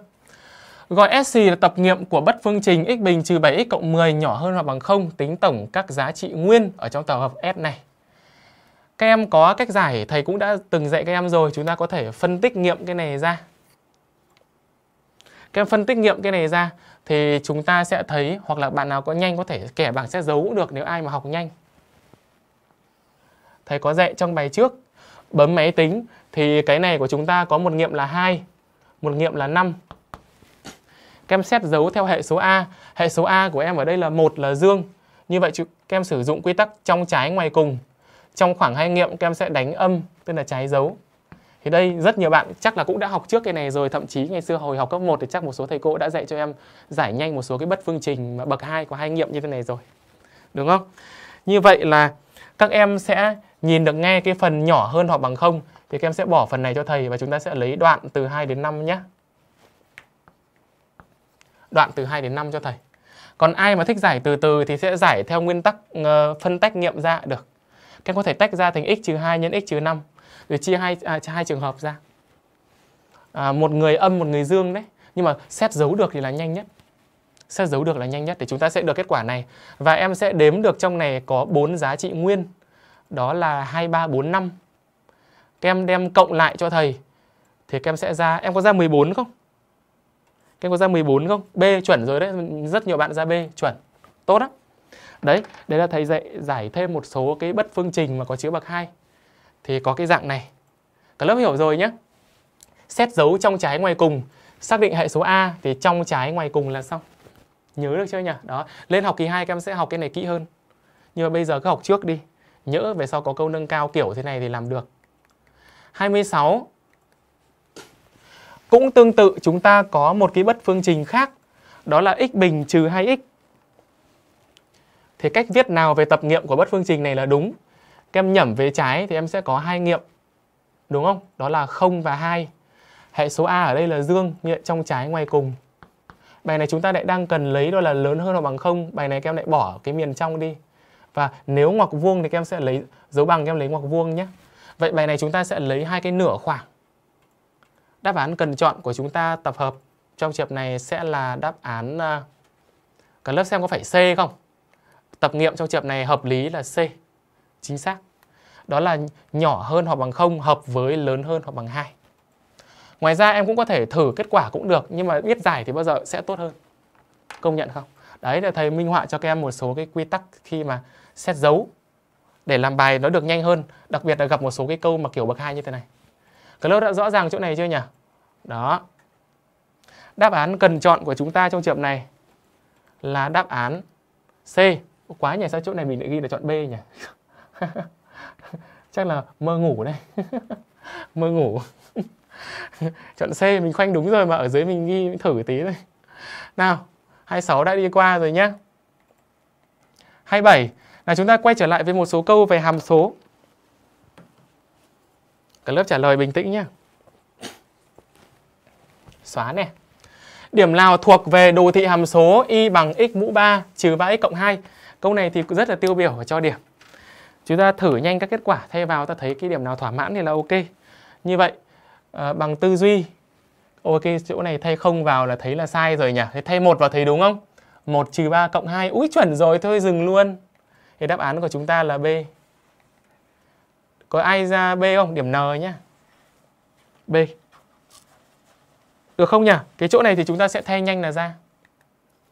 Xem hộ thầy xem các cái điểm này nó có thỏa mãn không? Chắc là không nhỉ? Nếu mà nó thỏa mãn thì chẳng nhẽ có hai đáp án à? B chuẩn, đúng không? B thì mình dừng luôn, được rồi. Có lớp xem mọi thầy xem những cái còn lại có thỏa mãn không? 27 là đi qua xong rất là dễ thôi. Câu này chúng ta làm được. 28. Hàm số f của em là x mũ 4 cộng 3x bình cộng 2. Hàm số g của em trị tuyệt đối x cộng 2 cộng chỉ đối x trừ 2 tất cả trên x. Mệnh đề nào đúng? Câu này người ta hỏi về tính chẵn lẻ. Chắc chắn là các em đã biết các cái cách nhẩm nhanh mà thầy đã dạy các em trong những bài trước rồi.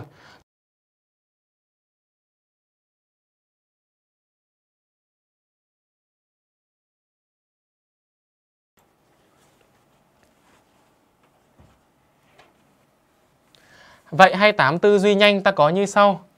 Đây ờ, vừa đây mũ 4, đây mũ 2, đây ờ, đây là bậc 4, bậc 2, đây bậc 0. Đây toàn bậc chẵn, nên chắc chắn hàm số f của em là chẵn. Bây giờ còn mỗi cái hàm g này thôi. chị tuyệt đối. em nghe kỹ câu này nhé câu này cẩn thận coi chừng. Em có thể thay thử cho thầy hai số ví dụ như cộng trừ 1 ở đây. Nên nhớ là hàm này là tập đối xứng D bằng R, hàm này x khác 0. x khác 0 vẫn đảm bảo thỏa mãn là tập đối xứng. Thầy đã từng dạy các em rất là kỹ rồi. Như vậy các em có thể thử nhanh để em thử cho thầy hai số cộng trừ 1. Nếu như các em muốn làm nhanh cũng được. Thì đấy cũng là một cách. Em sẽ thử thay vào thì em sẽ thấy trường hợp này hình như là ra ra ngược nhau đúng không? Có ra ngược nhau không? Thử thay xem nào. Xem xem có ra ngược nhau không? Câu này bình tĩnh nhá, không nhầm hết cả lũ giờ, được chưa? Bình tĩnh. Xem có ra ngược nhau, không? thí dụ nhá, các em thử thay một vào mà xem thầy ví dụ này. Nếu em thay x bằng 1 vào thì g tại 1 của em sẽ là 3 cộng với 1 trừ 2 cái chỉ đối vào là 1 trên 1. Đúng không? 3 cộng 1 trên 1 cái này bằng 4 nhá. Nếu các em thay trừ 1 vào. Thay trừ 1 vào thì 2 trừ 1 trên này còn 1. Cũng cộng 3 trên trừ 1. Cái này trừ 4 này. Cái này lẻ à? Nhìn đã biết này. Đúng không? Được chưa? Đáp án B. Fx chẵn, Gx lẻ, B chuẩn. Đúng rồi đấy, tốt đấy. Câu này còn thực ra bạn nào mà tư duy nhanh ý, em sẽ thấy ngay trên tử số mà chỉ được đối thì chứng tỏ là trên tử số không thể thay đổi rồi, trên tử số là không đổi. Nhưng mà cái mẫu này của em mà thay khác nhau vào nó ảnh hưởng là do cái mẫu ấy có công nhận không? Như vậy là à, ai nhìn nhanh thì nó ra thôi. Còn nếu mà trình bày em phải nói được đó là x thuộc D thì trừ x cũng thuộc D. F tại trừ x đúng bằng Fx nên Fx là hàm chẵn. Nhưng G tại trừ x G tại trừ x thì nó lại bằng trừ gx ở chỗ này là bằng nhá, không phải khác đâu, quên. Chỗ này là bằng nhá. Bằng g tại trừ x thì bằng trừ gx nên hàm này chắc chắn là hàm lẻ. À? Cái này em thấy nó bằng nó, nó, nó ngược nhau, ngược nhau. Nó bằng trừ gx. B chuẩn rồi. Tiếp. 29. 29 bình tĩnh nhá. Tập xác định của hàm số y bằng 1 trên cho x trừ 2 cộng căn bậc 2 của x cộng 2 cộng căn bậc 2 4 trừ x. Câu này các em giải nhanh chóng mấy điều kiện nhỉ? 3 điều kiện. Giải nhanh một tí là ra. Câu này thì cũng không quá khó. Nào, ba điều kiện nhé. Thứ nhất, mẫu phải khác không, như vậy x khác 2. x cộng 2 lớn hơn hoặc bằng 0. x lớn hơn hoặc bằng âm 2. 4 trừ x lớn hơn hoặc bằng 0. Vậy x nhỏ hơn hoặc bằng 4. Đầu tiên các em ghép hai người này lại cho thầy thì chúng ta có x nằm trong đoạn đó là từ trừ 2 đến 4 và vẫn phải đảm bảo điều kiện là khác 2. Vậy D của em sẽ là các em cẩn thận. Bài này à, nó viết vui lắm. Nó lại không thích viết đó là đoạn trừ 2 đến 4 gạch bỏ 2 đâu. Nhiều bạn bảo gạch bỏ 2 bảo thầy ơi chọn A là các em sai nhá chọn A là sai luôn, bài này đừng chọn A nhá. Rất nhiều người bị tư duy theo kiểu là, theo kiểu là nhìn nhanh là bị nhầm là chọn A. Các em bị nhầm ở chỗ đó là em phải để ý là trừ 2 đến 4 là ngoặc vuông. Như vậy là ở đây người ta đã thực hiện một cái ý đồ đó là người ta bẻ cái này ra làm đôi. Có hiểu thế nào? Đã bẻ ra làm đôi không? Cái điểm số 2 vô duyên nó lại nhảy vào giữa chỗ này. Như vậy tự nhiên nó làm chia đôi cuộc tình này ra. Đấy, chia đôi cuộc tình này ra, nó thành đó là trừ 2 đến 2 hợp với 2 đến 4 thì đáp án đúng của chúng ta phải là C. Các em mà chọn A là các em lại lừa rồi đấy. Được chưa? C, C. C, nhớ chưa? C cẩn thận nhá, chứ chỗ này nó đâu có vuông đâu. Lừa đấy, lừa lừa gây phết. Đấy.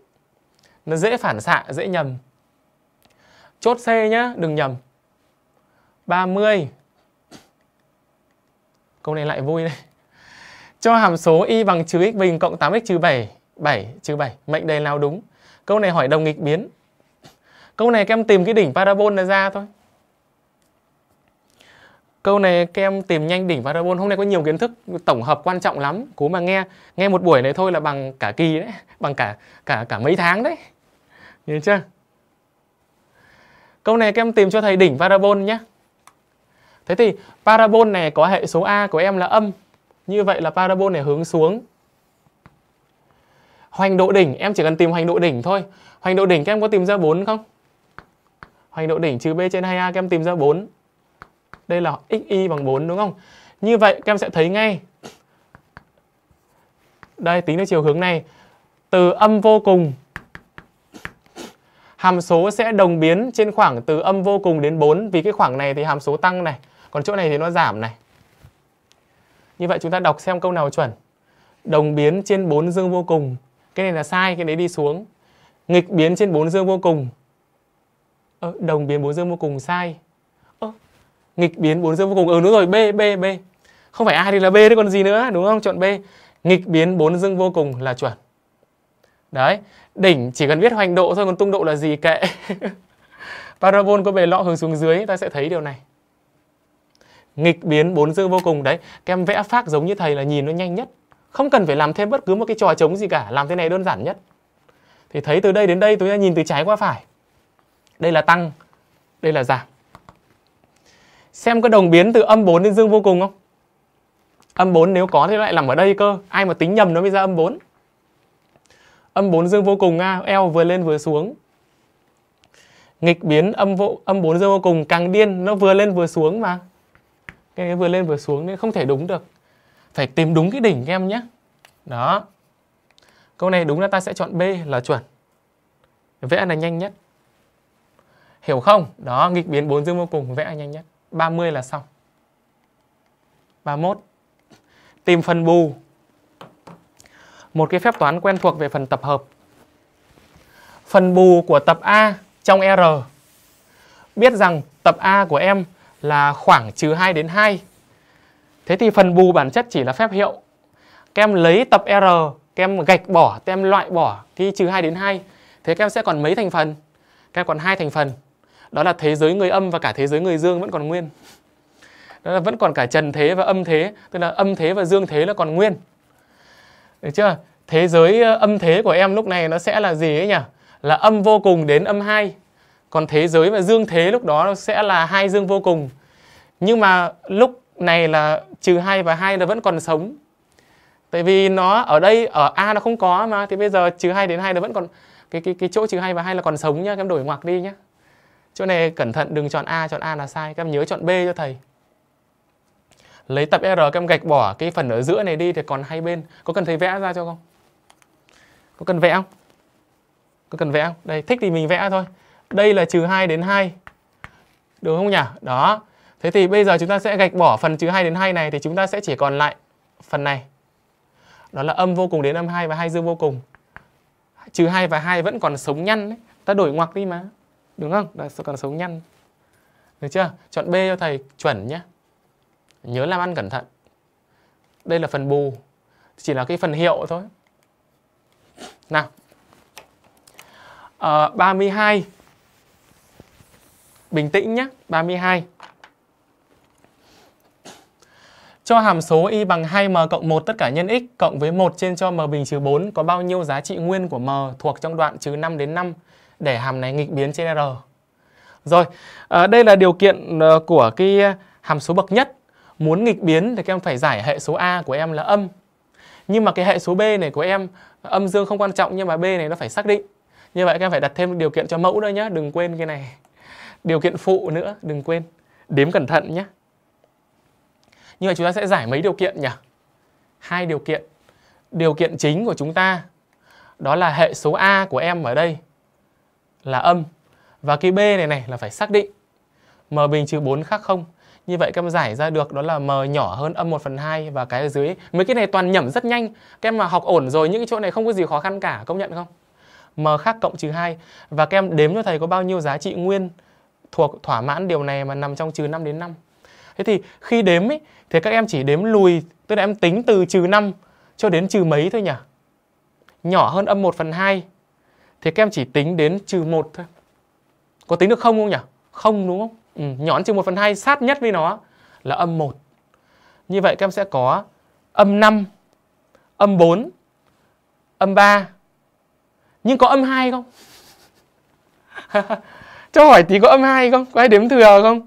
Chuẩn bị nhiều bạn chọn A lắm này. Nhiều bạn chọn A các em hết sức cẩn thận. Chỗ này hơi ghê. Bỏ âm hai chi cho thầy được chưa? Cẩn thận nhá.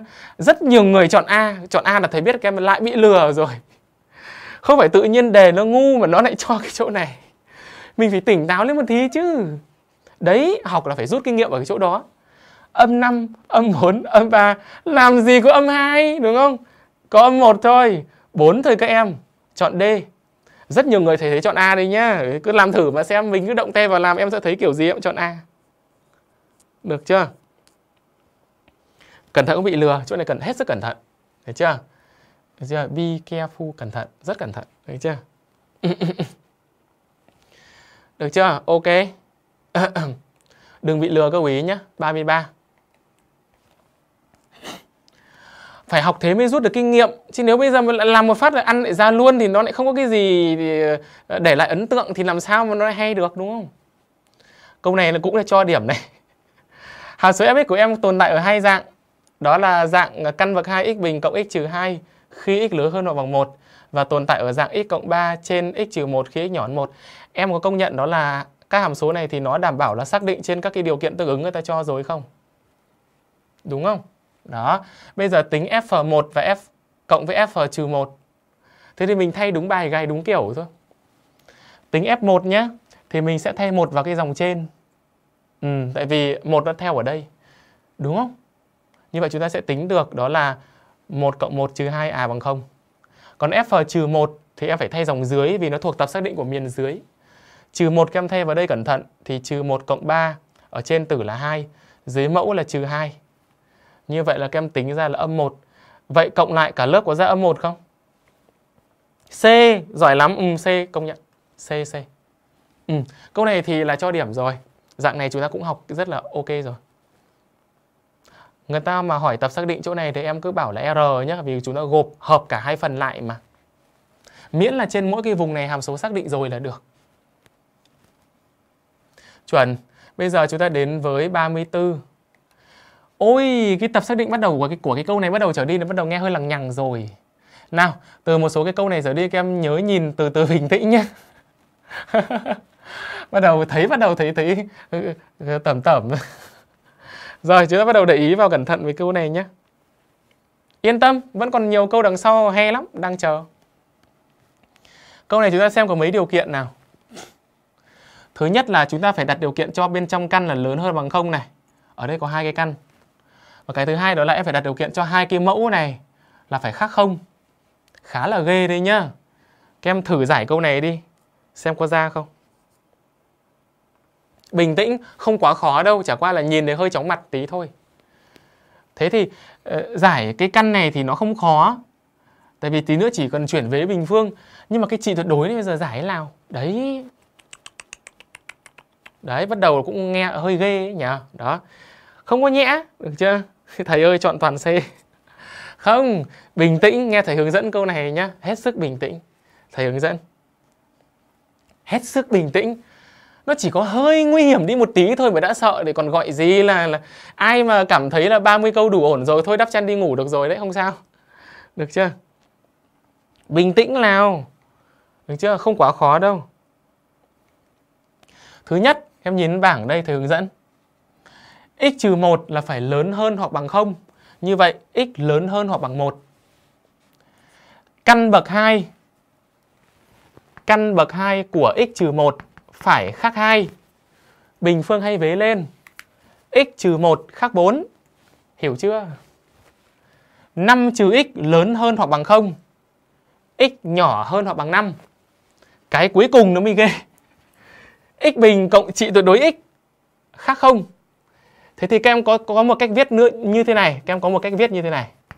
x bình cộng trị đối x người ta sẽ viết thành là trị tuyệt đối x tất cả bình cộng trị tuyệt đối x khác không? Giải thế này này. Và em sẽ viết thành trị tuyệt đối x nhân trị đối x cộng 1. Cái này vui rồi nha. viết thế này. Hiểu không? x bình bản chất chính là trị x tất cả bình là như nhau. Chính vì thế mà trị x cộng 1 thì cái này nó lại dương quá gặp cô cô rồi, nó lại luôn dương rồi. Không có nhẽ bây giờ lại đi giải trị đối x bằng âm 1 à? Như vậy nó chỉ có một nghiệm duy nhất đó là x bằng không. Hiểu chưa? Đó x bằng không. Hiểu không? Chỗ này rõ rồi nhá. Có biến đổi nó thành như thế này. Cái này là bằng nhau đấy. Có trị hay không trị là bằng nhau hết. Như vậy x khác không.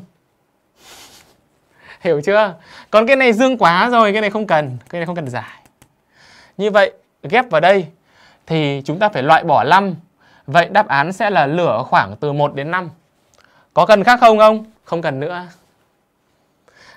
Rất nhiều người lại chọn C. Có cần không, loại bỏ không đâu. Đây nó lại còn giải trừ một. Nó lừa các em rồi. Em có ra A không? A nhá. Câu này phải là A. Bình tĩnh là ra hết. Cả lớp có ra A không? A nhé. Câu này ờ, bắt đầu vui hơn tí. Thực ra thì học được thêm kinh nghiệm gì thì học. Nhớ đấy. cố gắng mà nghe. Còn những cái câu mà em mà phụt được luôn thì thầy còn nói làm gì nữa? Hiểu không? Có thêm kinh nghiệm giải được luôn, được chưa? Nào.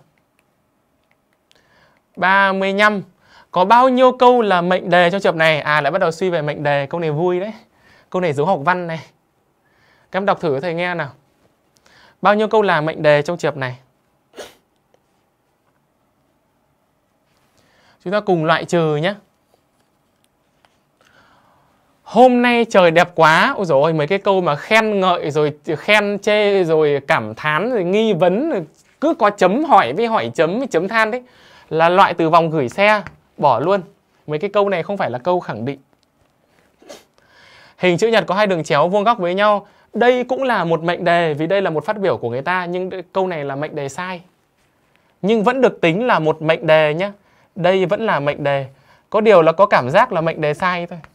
Đúng rồi, tại vì hai đường chéo hình chữ nhật đâu có vuông góc đâu. Đúng. Đây là mệnh đề nhá, nhưng mệnh đề sai. Bình tĩnh này. N nhân n cộng một chia cho 3 cái này đúng hay sai thì chưa khẳng định được. Đây không phải là mệnh đề vì à, đây là mệnh đề chứa biến, nhưng bản thân nó lại không phải là mệnh đề. Các em đừng khoanh câu này câu này loại đấy. Mệnh đề chứa biến bản thân không phải mệnh đề. Nhớ đấy, câu này chúng ta, rất nhiều người vẫn ôm cả câu ý mà vai thi vào đi. Sáng nay tôi đi học. Rất nhiều bạn bảo đây không phải. Thực ra đây là mệnh đề các em nhá. Hôm nay trời rét, sáng nay tôi đi học. Những cái câu mà miêu tả trần thuật. Được chưa? Kể lể, những câu ý là vẫn là mệnh đề. Có điều là không xác định được tính đúng sai thôi. Tại vì nó có thể đúng tại thời điểm này mà sai tại thời điểm khác. Có thể đúng với em nhưng mà sai với thầy. Đúng không? Ví dụ thế. Thực ra chả ai bắt các em phải xác định được đúng hay sai. Người ta hỏi là mệnh đề thế mà. Hiểu chưa? Có hiểu không? Nên đây là mệnh đề. Bạn tên là gì nhở? Gì nhở? Thế kệ mày, không quan tâm. Câu này hỏi chấm không phải mệnh đề.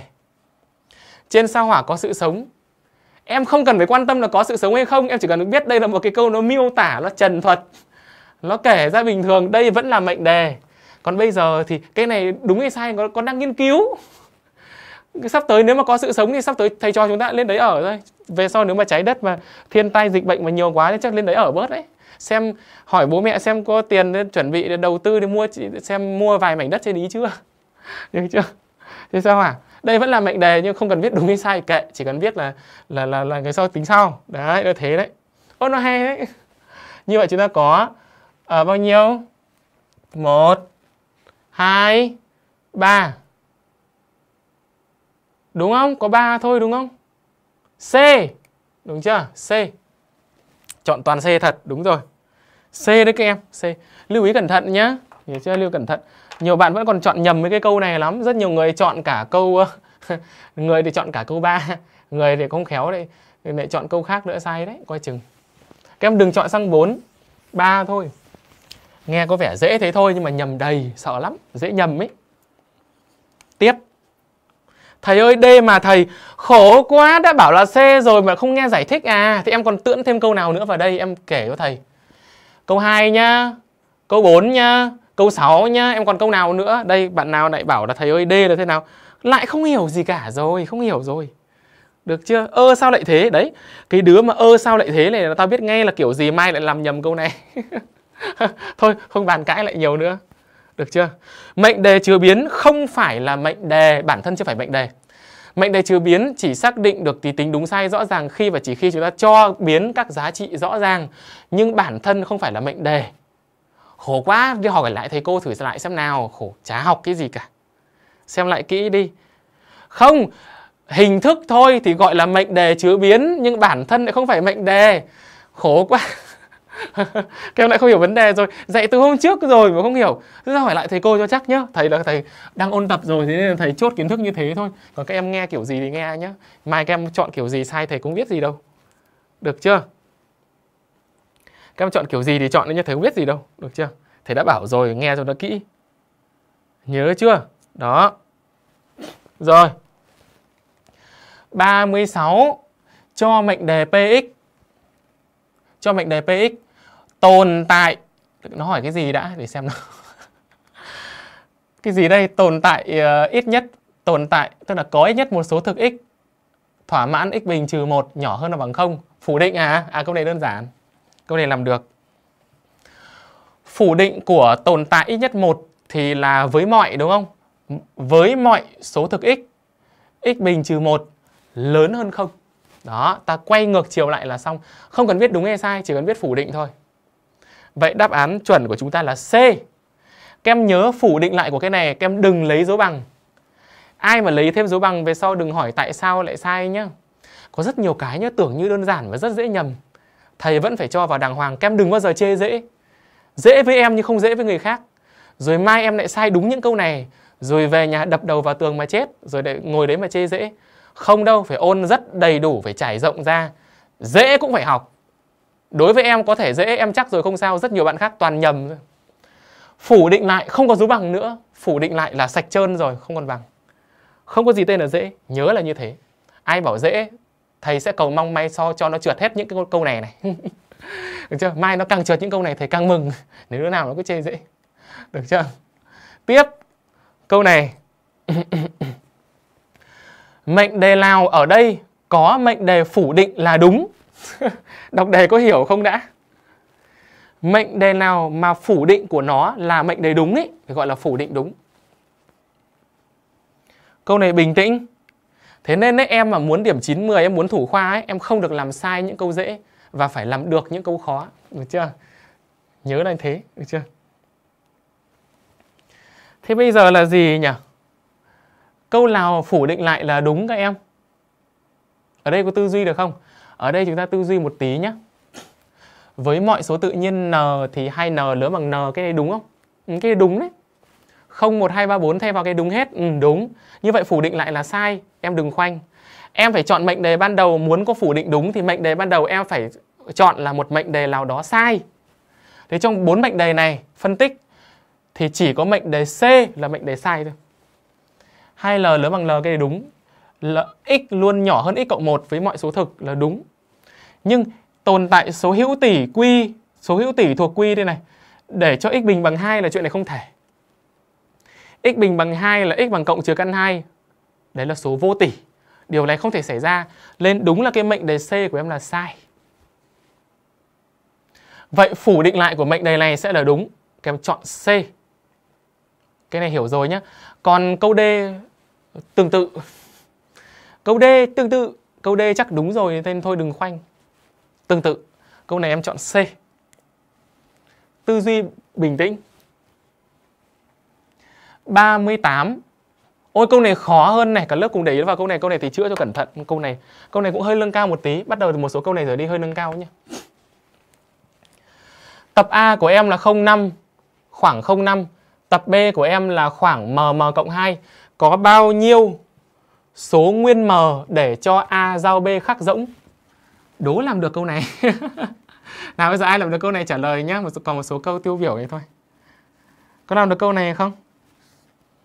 Câu này là mệnh đề chứa tham số. À đâu tập hợp mà có chứa tham số quên. Có giải được không? Câu này kẻ trục ra. Có, có làm được không? Ai ai ai thử trả lời cho thầy nghe ra câu này thầy chờ. Câu này là phải làm từ từ. làm từ từ. 38 chọn gì các em? Câu này bắt đầu là comment bắt đầu linh tinh rồi. người chọn B, người chọn C là biết mà. Nó hỏi số giá trị nguyên là các em không thử được rồi. Bây giờ nếu mà các em vẽ ra thì nó có nhiều trường hợp thỏa mãn lắm. Đây này. Đây là 05 nhá. Cả lớp nhìn bảng đây thầy phân tích cho nghe. Đây là 05. Còn cái này thì nó biến động. Bây giờ phải đặt vị trí, chúng ta phải đặt các vị trí m m cộng 2 vào đâu để cho chúng phải hiểu câu này là gì đã. A giao B khác rỗng. Có nghĩa là A giao B là là có phần chung, chúng mình phải có phần chung khác rỗng tức là chúng mình có phần chung tìm điều kiện để chúng mình có phần chung. khác rỗng mà, là có phần chung. Như vậy, muốn có phần chung thì chúng bây giờ phải lồng vào nhau. Còn không có phần chung thì chúng rời nhau, thấy đã dạy các em rồi. Thế nào là lồng, thế nào là thế nào là là một chân chạm vào. Thế bây giờ em phải tròi một chân. Bây giờ ít nhất ít nhất phải có một chân của cái ông này tròi vào trong này. Chứ nếu bây giờ chân của mình không tròi vào đạp vào giữa của người ta thì không thể nào có phần chung được. Nên là phương pháp đạp vào giữa người ta này. Như vậy trường hợp thứ nhất là mm cộng 2 sẽ tròi vào đây. Trường hợp thứ hai là mm cộng 2 tròi vào đây. Trường hợp thứ ba là cả hai chân đạp vào chính giữa của người ta luôn. Đó, đạp vào chính giữa người ta luôn thì vẫn có phân chung. Và trường hợp cuối cùng, chúng ta giang vòng tay ra ôm lấy người ta. Đấy, ôm lấy người ta vẫn có phân chung. Éo ơi, sơ sơ bốn trường hợp rồi bạn nào còn kể được thêm trường hợp nào nữa. Thì uh, nếu mà làm theo xuôi như thế này thì bốn trường hợp thì mất khá nhiều thời gian và tương đối là mệt. Em phải liệt kê tất cả các trường hợp có thể xảy ra. Thầy vừa nói với em rồi nhá có ít nhất có một chân của mình phải đạp vào chính giữa người ta. Em có thể đạp cả một chân hoặc là đạp cả hai chân nếu em thích. Hoặc là em có thể giang vòng tay ra ôm người ta được. Thầy nói thế là hiểu cái gì? Nhưng mà giải các cái ý thì hơi nhiều trường hợp quá. Bây giờ chúng ta sẽ làm theo phương pháp đó là phủ định lại thay cho việc là chúng mình giải A giao B khác rỗng thì chúng ta sẽ đi xét cái trường hợp đó là A giao B bằng rỗng. Tức là chúng mình không có phần chung, sau đó lấy ngược trở lại thì có khi lại hợp lý hơn. Đây là 05. Quay trở lại với 05. Muốn chúng mình mà giao nhau bằng rỗng ấy thì chúng mình chỉ cần rời nhau không có chân mình không đạp được vào ờ, chính giữa của nó là được. Thế thì mình đừng đạp nữa thì mình ờ, đạp gió hai bên, chém gió hai bên này. Không m m cộng 2 đạp bên trái không thì đạp bên phải. Chắc là hết tuồng rồi. Những trường hợp nào phủ định lại mà ít trường hợp hơn các em lên theo cách này. Thầy nói thế là hiểu rồi gì. À và như vậy là chúng ta sẽ có hai trường hợp xảy ra. Còn à, còn à, bạn nào nghĩ được trường hợp khác nữa không? Chắc hết rồi còn trường hợp nào nữa rời nhau thì nó mới giống chứ hiểu chưa rời nhau mới giống thế thì trường hợp đầu tiên các em nhìn bảng so sánh trên trục số chúng tôi thấy m cộng 2 phải nhỏ hơn hoặc bằng không Cùng lắm là chúng mình chạm vào nhau theo kiểu hàng xóm. Cho dù chúng mình có chạm vào nhau thì chúng mình cũng vẫn rỗng thôi, yên tâm, lên chạm được. Đừng bao giờ quên dấu bằng nhé, quên dấu bằng chỗ này sai phát chết luôn là đi về trượt luôn. Giả sử cứ cho chúng mình chạm vào nhau đi xem có thỏa mãn không thì ở đây em thấy này, kể cả có chạm vào nhau vẫn rỗng. Chạm vào nhau vẫn rỗng. Đúng rồi, à, như vậy là phải lấy dấu bằng cả lâu có công nhận không đã? Như vậy chúng ta có m cộng 2 nhỏ hơn là bằng 0 còn một trường hợp nữa đó là m m cộng 2, cái m này phải lớn hơn hoặc bằng 5. Chạm vào 5 cũng được, không sao cả. Các em giải ra được m nhỏ hơn hoặc bằng âm 2 hợp với lớn hơn bằng 5. Sau đó các em phủ định lại là ra thôi. Tức là các em lấy phần bù ấy. Phần bù muốn cho chúng nó giao nhau khác rỗng thì phần bù bên trong chính là khoảng từ trừ 2 đến 5. Đơn giản không? Giải có đúng một dòng thôi. Nếu chúng ta hiểu ấy thì chúng ta sẽ thấy à đúng rồi ừ, đúng rồi. Hiểu chưa? Các bạn có nghĩ được tương tự như thế không? Nào các bạn có nghĩ được giống như có hiểu ý của thầy không đã nào? Đó hiểu ý được như thế không nào? Đó. Rồi như vậy chúng ta đếm số giá trị nguyên. Chúng ta có lưu ý nhé phủ định lại thì chỗ này không còn dấu bằng nữa như vậy chúng ta sẽ có trừ 1, 0, 1 rồi 2, rồi 3, rồi 4 Các em có 6, chọn toàn C Đúng rồi, C đúng chưa? Cả lớp lúc em có ra C không? Cái này là hai cái không, cái cách một em tự làm đi bốn trường hợp mệt lắm. Mà đấy là thầy còn kể ít nhất là bốn trường hợp, em còn nghĩ thêm được nữa thì em kể nốt đi. Đấy, trường hợp này chỉ cần làm có duy nhất như thế này thôi là xong. Các em tự vẽ trên trục số vào em sẽ thấy nhé. Như vậy là thầy đã giải quyết được cho các em các cái câu mà ờ, giao giao bằng rỗng với khắc rỗng là hiểu rồi đúng không? Xét các trường hợp có thể thỏa mãn ra. Đấy, vừa mô phỏng rồi đấy xem là đạp vào đâu thôi là xong lấy chân đạp một cái biết ngay thầy làm thì thấy đơn giản đúng không ừ. thầy ơi không có phải số nguyên đâu thầy mà bố mày khổ quá số không không phải số nguyên nên là số nào rồi ôi thế chẳng nhẽ nó nó là số gì rồi, ôi em ơi, số không nha nó là số gì cũng được ấy số không em thích nó là số gì cũng được nó đã là nằm trong tập số thực rồi số tự nhiên được, số nguyên được, số thực cũng được sao lại không phải Khổ quá. Sửa lại đi em. Được chưa? C. Cả lớp có ra C không? Nếu ai mà không hiểu thì hỏi lại nhé. Cả lớp có thắc mắc gì không? Các em có làm ra, có tư duy giống như thế không? Xem thầy có nhầm chỗ nào không? Được chưa? Có nhầm không? Nhầm để thầy còn sửa. Nếu không có gì thắc mắc nhá, sang câu tiếp theo luôn. 40. À câu này bắt đầu sang hình. Nếu y là trung điểm của đoạn thẳng AB thì với mọi điểm m ta luôn có tính chất nào là đúng? Thầy ơi, em nhầm đấy. Ờ thôi được rồi không sao, cứ coi như em nhầm đi. biết đâu em giả vờ nhầm thì sao lúc nãy thầy giả vờ nhầm em cũng giả vờ nhầm theo vui đấy được chưa thầy nào trò đấy vui đấy được chưa được đấy được đấy nào câu này theo tính chất trung tuyến đúng không y là trung điểm AB thì ta luôn có MA cộng MB vector bằng hai lần vector MI. Đáp án A, câu này theo đúng lý thuyết mà khoanh thôi. À, cái này đơn giản. theo đúng tính chất sách giáo khoa thôi. MA cộng MB bằng hai lần vector trung tuyến hay là vector MI trong vở có nhé. Thôi câu này đi qua nhanh luôn, lý thuyết mà. Bốn chục, ôi câu này vui đấy, nhiều người không làm được câu này đâu. Đó là bài toán phân tích vector. Sợ nhỉ, không biết mai trong đề có câu này không? Thôi cứ làm đi. Câu này thầy sẽ vẽ hình cho nghe nhé. Tam giác ABC. Rồi. M thuộc cạnh BC, MB bằng 2MC. MB bằng 2MC. Rồi. Phân tích vector AM theo hai người đó là vector AB và vector AC. Phân tích một vector theo hai vector không cùng phương. Nào, hết sức bình tĩnh nhá. Nhớ chưa bình tĩnh này. Nào, phân tích AM em có thể đi em chèn điểm gì cũng được, em chèn điểm B được, em chèn điểm C cũng được, em thích chèn điểm nào em chèn. Thế bây giờ mình mình chèn điểm B nhé. Mình chèn điểm B được không? Chèn điểm B, ok. Em chèn điểm nào nó thế thôi, được chưa? Thầy ơi câu 38 sai sai khổ quá sao lại sai được không thể sai được được chưa mình ơ lúc lẽ còn trường hợp nào khác nữa không chẳng nhẽ mình lại bỏ sót à không trường hợp rỗng nó chỉ có thế thôi chúng phải rời nhau làm gì có chuyện sai có trường hợp nào sai nữa à ừ, rồi em cứ trả lời tiếp đi sai á ai mà bảo sai thì ờ, comment lại ở dưới giúp thầy tí nữa thầy đọc nhé xem có trường hợp nào sai không sai được nào Em có thể đi từ A đến M em chèn điểm B hoặc là điểm C cũng được. Như vậy thầy chèn điểm B cho nó dễ nhé. Đó, như nhau cả. Ta sẽ có AB cộng BM. Sau đó AB giữ nguyên. Em phân tích vector BM. Em phân tích vector BM thì theo độ dài, thì vector BM cùng phương cùng chiều với BC và bằng 2 phần 3 BC. Như vậy chúng ta để hệ số dương. Cùng chiều mà. 2 phần 3 BC. Mặt khác, em lại phân tích được vector BC theo hai con người này. Hai con người này thì BC chúng ta phân tích theo quy tắc hiệu thì nó sẽ là bằng AC trừ AB. Chỗ này ai cũng biết làm ý.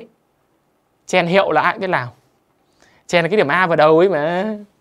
AC trừ B. Đấy, số ơi đến đây dễ rồi, nhân tung tóe chỗ này ra đi về. Nhân tung tóe ra.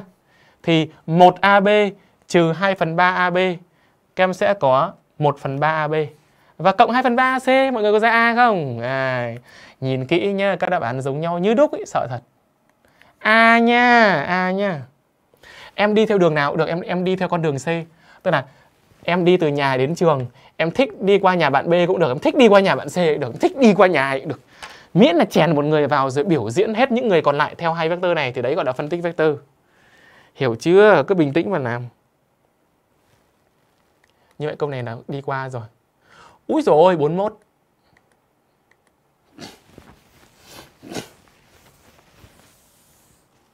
ừ. 41 cho hai điểm AB cố định, tập hợp các điểm M thỏa mãn uh, độ lớn của vector MA cộng vector MB bằng độ lớn của vector MA trừ vector MB thì đố làm được câu này. Nào, đây là bài toán về tập hợp điểm cho bởi một đẳng thức vector. Câu này uh, nó cũng chỉ gọi là hơi nâng cao một tí nhưng vẫn làm được làm làm được thêm câu này điểm chắc chắn cao hơn rồi nào cố gắng lên Thầy ơi, ba tấm sai khác rỗng mà. Khổ quá. Thì do bài nó hỏi khác rỗng, Nhưng mà thầy cố tình làm cho nó bằng rỗng Thì thầy trừ đi, bù trừ ấy mà. Tại vì thầy đã xét cái trường hợp xuôi rồi, Nó có nhiều trường hợp thỏa mãn lắm. Thế nên là thầy làm ngược lại. Tí nữa về sau tua lại nhé Được chưa? Một số bạn lại hỏi. Được chưa? Lại tua. Tí nữa tua lại sau nhé Khổ quá. Được chưa? Nào. Câu này, Các em có làm được không? Câu này thực ra tư duy rất nhanh thôi, Chúng ta có như sau Có làm được không để thầy xem đọc kết quả xem nào Ôi, vẫn chưa thấy nhiều người trả lời được câu này. Chứng tỏ là cũng bình thường thôi. Được chưa? Thầy ơi 38 sai rồi mà thầy, Sao lại sai? Thôi, kể cả có lỡ sai nhá em tự sửa Thế thôi, Không cần phải để ý Được chưa? Không thể sai được, Chẳng nhẽ lúc nãy các bạn comment sai hết chắc nào Câu này nhé Câu này các em bình tĩnh đi Không em nhầm hết đấy Câu này không dễ đâu Thứ nhất Chúng ta phân tích nào À chúng ta cộng Bây giờ tổng hợp vector chứ việc gì phải phân tích Vector MA cộng vector MB thì bằng cái gì? Theo tính chất lúc nãy vừa học xong nhá, vector MA cộng vector MB là bằng hai lần vector MI. Với Y là trung điểm của AB. Thế còn vector MA trừ vector MB thì nó sẽ theo quy tắc hiệu nhá, nó sẽ bằng vector BA. Đúng quy tắc hiệu thì bỏ M đi, chả BA ư. Học kiến thức cơ bản chưa? Đấy, hiểu rồi đúng không? Như vậy chúng ta dẫn đến gọi Y là trung điểm AB thì cái này là bằng hai lần vector mi độ lớn đấy độ lớn còn cái này bằng vector ba độ lớn các em chia hai xuống thầy hỏi này độ lớn vector thầy viết luôn là độ dài đoạn thẳng mi có được không được đúng không thế thì mi sẽ bằng ab trên 2 có nghĩa là ab cố định rồi thì y sẽ là một điểm cố định ab cố định rồi ab cố định rồi thì y là trung điểm ab cũng sẽ là một điểm cố định điểm M luôn cách điểm Y một khoảng không đổi bằng R. AB trên 2 đóng vai trò chỉ là một hằng gì? Hằng số. Như vậy M luôn cách Y, M di động trên cái nào? Đây M cách Y một khoảng không đổi bằng R. Úi rồi ôi đoán ra rồi nhé, được chưa? Đáp án của chúng ta đó là M di động trên đường tròn đường kính AB. Đáp án B. Cả lớp có ra B không nhỉ? Sao lại D? Trời ơi. Đường kính AB, đó là bảo bán kính đây. Đường kính, rồi đường kính. Sao lại bán kính được à? Các em có nhầm không? Bán kính này, bán kính AB trên 2 các em nhầm hết. Có hiểu không? Như vậy, dạng bài toán tập hợp điểm thường chỉ có hai dạng thôi. Nếu dạng 1 các em đưa về dạng đó là MI bằng một cái hằng số R nào đó không đổi công tăng thì M di động trên đường tròn tâm Y bán kính R. Còn dạng 2, nếu đưa về dạng MA bằng MB với AB cố định thì trường hợp này mới là M thuộc trên đường trung trực của đoạn thẳng AB, các em đừng nhầm. Rất nhiều người chọn A là sai nhá. Hai dạng này khác nhau, một cái là đường tròn, một cái cái này mới đường trung trực cái này. Trong bài trước thầy cho đường trung trực rồi. Được chưa? Thì cái dạng còn lại này nó chỉ có đường tròn nữa thôi, chả hiểu gì cả. Đấy, nghe cho kỹ vào. Hiểu không? Các bạn hiểu không? Đây là đường tròn. Câu này thì nghĩ là cũng không quá khó đâu. Biến đổi một tí đã ra được. Đúng không? Cả lớp làm được nhá. Làm được. Câu này chỉ gọi là hơi nâng cao một tí tẹo. Chưa phải có cái gì nâng cao lắm. Chả qua là các em ít làm thì có cảm giác là em sẽ thấy khó. Em nghe kỹ phân tích, em thấy có khó không? Thầy nói là toàn thành dễ. Thế nên các em đừng bao giờ bảo là câu hỏi dễ. Chả qua dễ được ấy cảm thấy dễ được là do có những con người, có những thầy cô đã dày công nghiên cứu ra những cái phương pháp mà biến khó được thành dễ nên em cảm thấy nó dễ hiểu chứ không phải là câu hỏi dễ nghe như thế. Toàn trả lời sai mà câu hỏi dễ à? Nhưng mà nó biến thành những phương pháp dễ hiểu. Đấy, dễ ý là do thầy cô dạy dễ hiểu. Chứ không bao giờ được nói là câu hỏi dễ.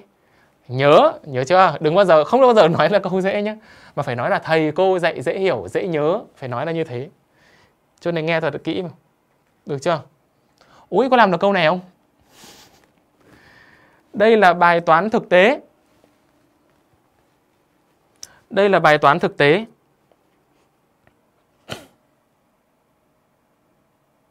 Thầy ơi, AB trên 2 thì AB là bán kính chứ thầy. Khổ quá, thôi không muốn comment nhiều nữa. thôi đừng comment nhiều nhé, dở hơi à. Được chưa? AB bằng 2R thì AB phải đường kính chứ em. Được chưa? Thôi kệ nó. Được chưa? Người ta vẽ cho em một cái cổng parabol theo kiểu úp xuống như thế này. Parabol này là y bằng trừ x bình với độ rộng của cái cổng này là 8 mét. À đâu? Ừ 8 mét. Tính chiều cao h của cổng theo hình vẽ minh họa. Chúng ta có làm được không? À, câu này cũng đã từng xuất hiện trong một số các cái đề thi của các trường khá là hay. Thầy nhận thấy điều này hay. Ở đây may mắn là người ta cho em dạng phương trình parabol rồi nên em không cần phải mất công thiết lập phương trình parabol nữa. Bây giờ xem cái chiều cao h của cái cổng này là bao nhiêu. Đấy, hát đây này. Hiểu không? Đấy. Em bạn nào cố gắng mai kia đậu Bách Khoa nhé. Bách Khoa Hà Nội ấy, thì trường đại học Bách Khoa Hà Nội có, có cái cổng parabol khá là hay, khá là đẹp ở ngoài, nhìn trông hay lắm. Bách Khoa mấy cổng cơ, rộng lắm. Hỏi các anh chị sẽ biết, cổng parabol cực đẹp. Thực ra đi qua nhiều rồi thì nó cũng thành bình thường.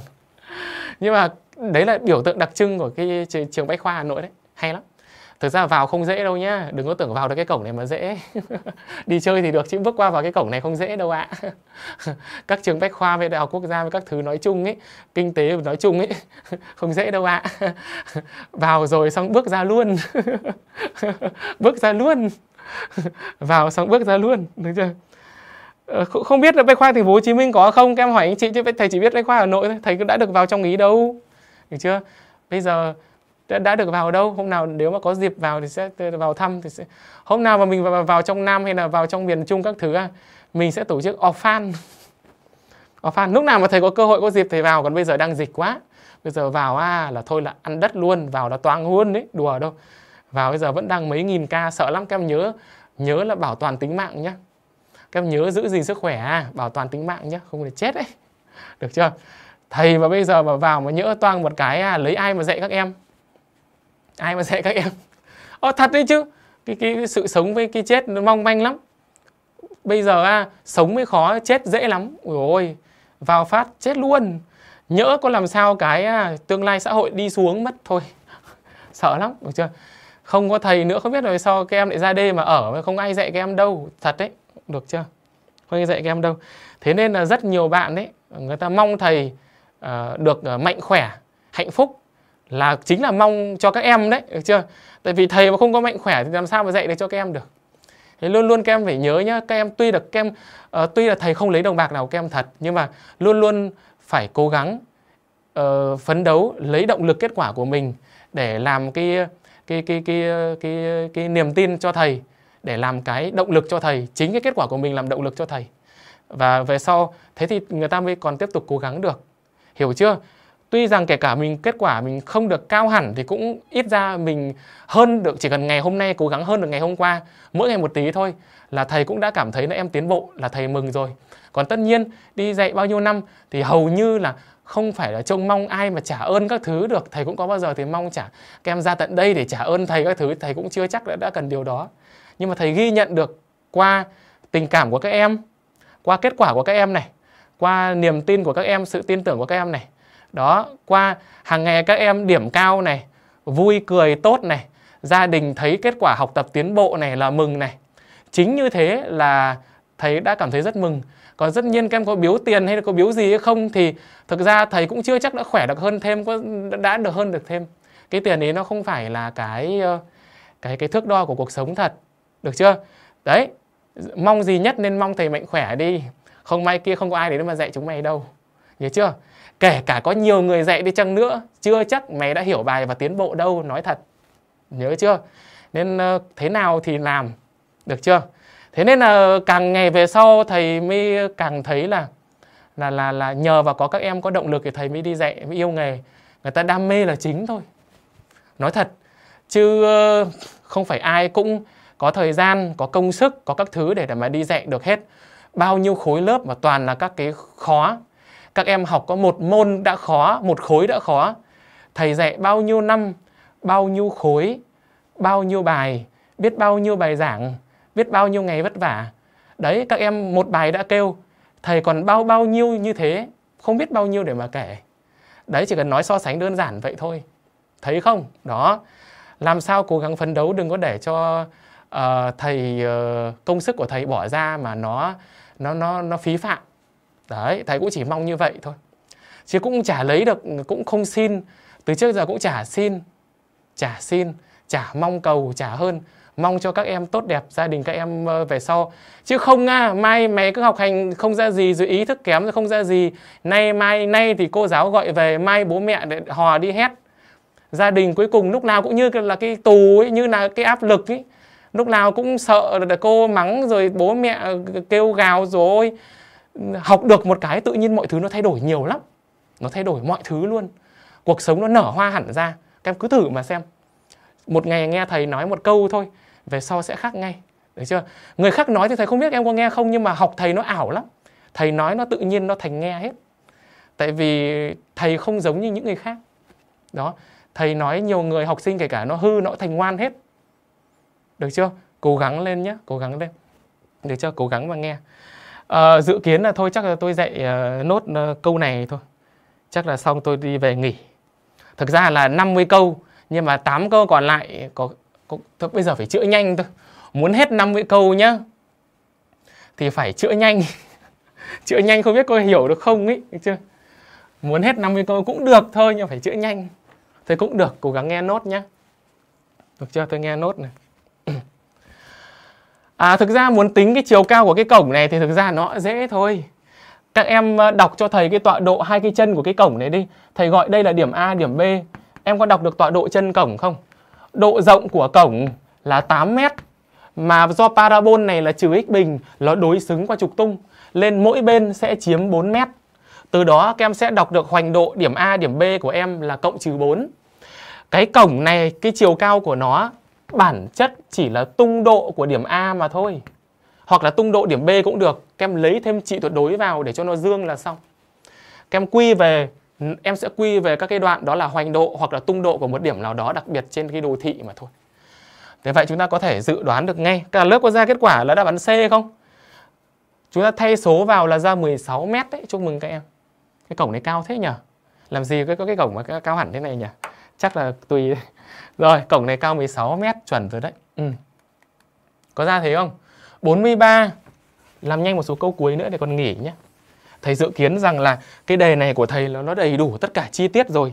Chắc là lần sau là thầy uh, đề này là thôi thôi không biết tuần sau đã thi hết xong chưa nhưng mà thôi chắc là đề này thôi là xong thôi tại vì không muốn làm nhiều đề nữa quá mệt lắm mệt lắm được chưa 43 được chưa biết rằng hàm số y bằng ax bình cộng bx cộng c với a khác 0 đạt giá trị nhỏ nhất bằng 4 tại điểm x bằng 2. Đồ thị này đi qua điểm A06, tính tích P bằng ABC. Một câu rất tiêu biểu đó là về xác định phương trình, phương trình của parabol. Các em phải đọc cắt nghĩa để xem có hiểu không. Hôm trước trong đề số 1 thì thầy cho các em parabol đi qua 3 điểm để em giải hệ là xong, em thay vào đúng không? Nhưng một số bài người ta sẽ cho em đi qua một điểm và người ta cho biết bản chất người ta cho uh, x bằng 2, giá trị nhỏ nhất bằng 4 chính là người ta cho em tọa độ đỉnh. Thầy đã dạy từ đầu rồi đó là đỉnh 24. Giá trị nhỏ nhất hay lớn nhất trong trường này gì chăng nữa của đỉnh parabol đấy mà. Nó chính là đỉnh parabol thôi, công nhận không đã? Đó, như vậy chúng ta có đầy đủ ba dữ kiện. Đỉnh parabol cho chúng ta một dữ kiện hoành độ đỉnh ấy. Tiếp tục thay cái hoành độ đỉnh này vào được tung độ đỉnh, chúng ta được dữ kiện thứ hai và thay lốt cái điểm A này vào ta được dữ kiện thứ ba là chúng ta đủ để giải quyết ra cái này rồi. Như vậy các em nhìn thấy thay các dữ kiện nhé. Thứ nhất, nào phải khẳng định được đỉnh parabol là 24 đi đã rồi làm gì thì làm. Thay dữ kiện thứ nhất đó là thay dữ kiện 06 x bằng 0 thay vào đây rất dễ. Chúng ta đọc ra ngay c bằng 6 rất là quen, người ta cho cái này để giải nhanh mà mình không nhìn ra là thôi đấy. Được chưa? c bằng 6. Hoành độ đỉnh là âm b trên 2a bằng 2. Và thay lốt 2 vào đây. Không cần phải nhớ cái trừ delta trên 4a đâu nhé. Cái ý bạn nào thích làm theo cũng được, nhưng mà nó cứ lằng nhằng cái nào ấy. Thôi cái cách đó, em thay cái hoành độ đỉnh vào là xong. Còn viết trừ delta trên 4a cho nó vui thôi không cần, dùng cái đó là còn mệt mỏi hơn đấy thầy là luôn chọn con đường ngắn nhất rồi và dễ hiểu nhất rồi, cố mà nghe đấy, đừng làm cách khác, làm cách khác cũng được đấy, nhưng mà không bao giờ nó sẽ hay bằng các cách thầy hướng dẫn. Có công nhận không? Đó. Thế thì thay luôn hai này vào luôn là nhanh nhất. Đấy, ta sẽ có 4a cộng 2b cộng c c nhét luôn 6 vào, và cái này bằng 4 từ đấy là c bằng 6 rồi, trừ b nhân chéo lên bằng 4a.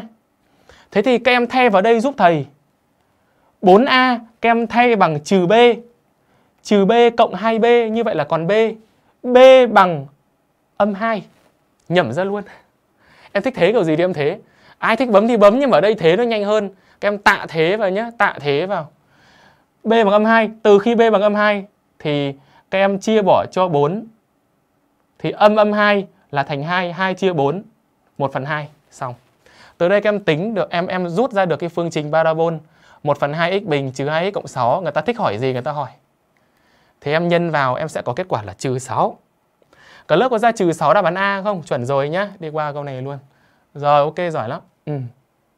cũng không phải là quá khó đâu, thực ra phân tích vẫn làm được. 44 cũng là một câu về parabol, nhưng câu này thầy cho một cái cách giải nhanh rất hay này, các em để ý này. Parabol P y bằng ax bình cộng b cộng c a khác 0 đi qua điểm A 18 đúng không? B, âm 10 và hoành độ đỉnh x bằng âm 2 tính SC bằng A cộng B cộng C. Câu này em làm bình thường. Xem có ra không? Là bình thường nhá. Xem có ra, chắc là vẫn ra. Hai điểm này thay vào là có hai dữ kiện. Hoành độ đỉnh cho thêm một dữ kiện nữa. À ba dữ kiện rồi. Thực ra thay nhanh vào giải hệ để vẫn ra. Được đấy. Nhưng mà chúng ta có thêm một cách giải nhanh cho trường hợp này các em lưu ý, nếu một ngày nào đó đề thi hỏi các em tính S bằng A cộng B cộng C, thì các em có thể để ý thấy hình như A cộng B cộng C nó chính là cái y này. Em có công nhận là khi chúng ta thay x bằng mấy vào đây thì chúng ta được a cộng b cộng c không? Nếu các em tư duy thì câu này rất hay có trong đề mà có khi chỉ cần một phát nhìn ra nhanh viết ngay. Chúng ta thay x bằng mấy nhỉ thay x bằng một các em thấy x bằng một vào đây là em sẽ được ngay đó là a cộng b cộng c. Em sẽ được cái y. Mà may quá nhá. Đề người ta lại cho mình x bằng 1 thì y bằng 8 như vậy không phải là trong trường hợp này đúng là người ta cho chỗ đó là công nhận là chỗ này không cần phải giải rõ ra ABC thật.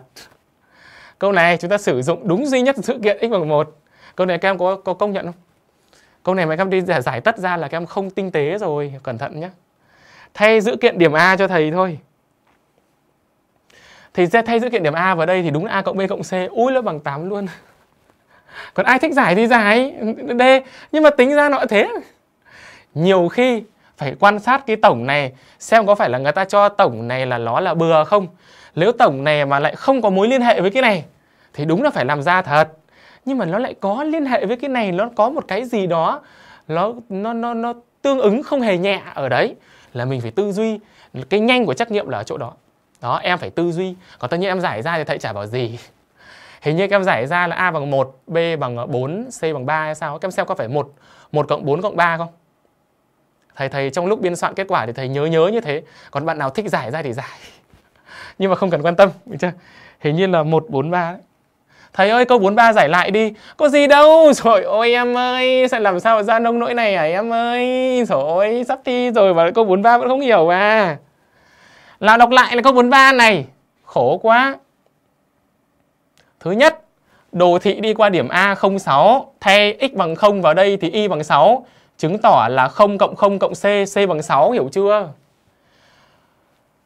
Hàm số này đạt giá trị nhỏ nhất bằng 4 tại điểm x bằng 2.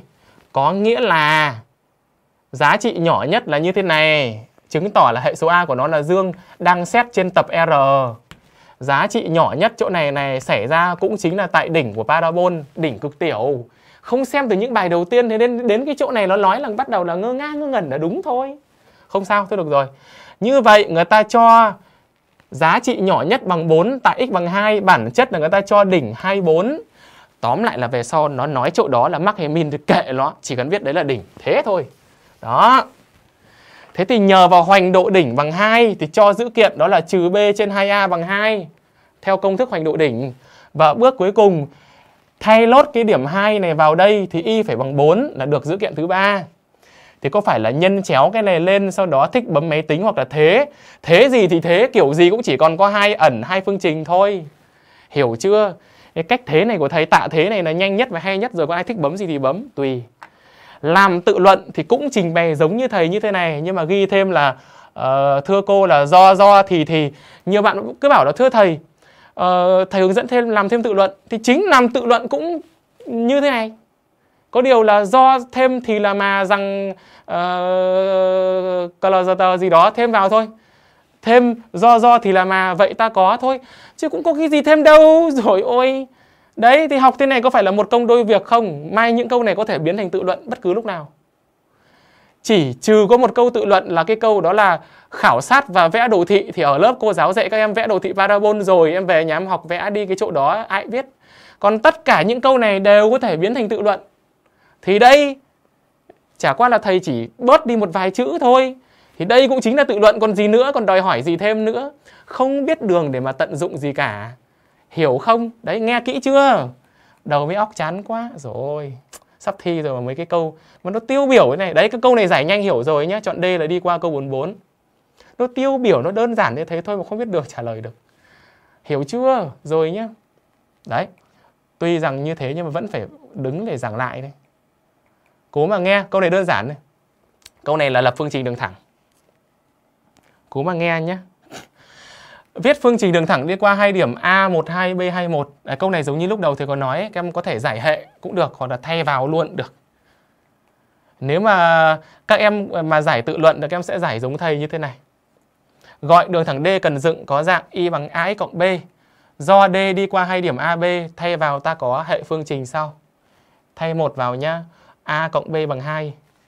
Thay 2 vào thì là 2A cộng B bằng 1. Các em lấy máy tính mà bấm được, tùy các em nhé, giải hệ nó ra thôi.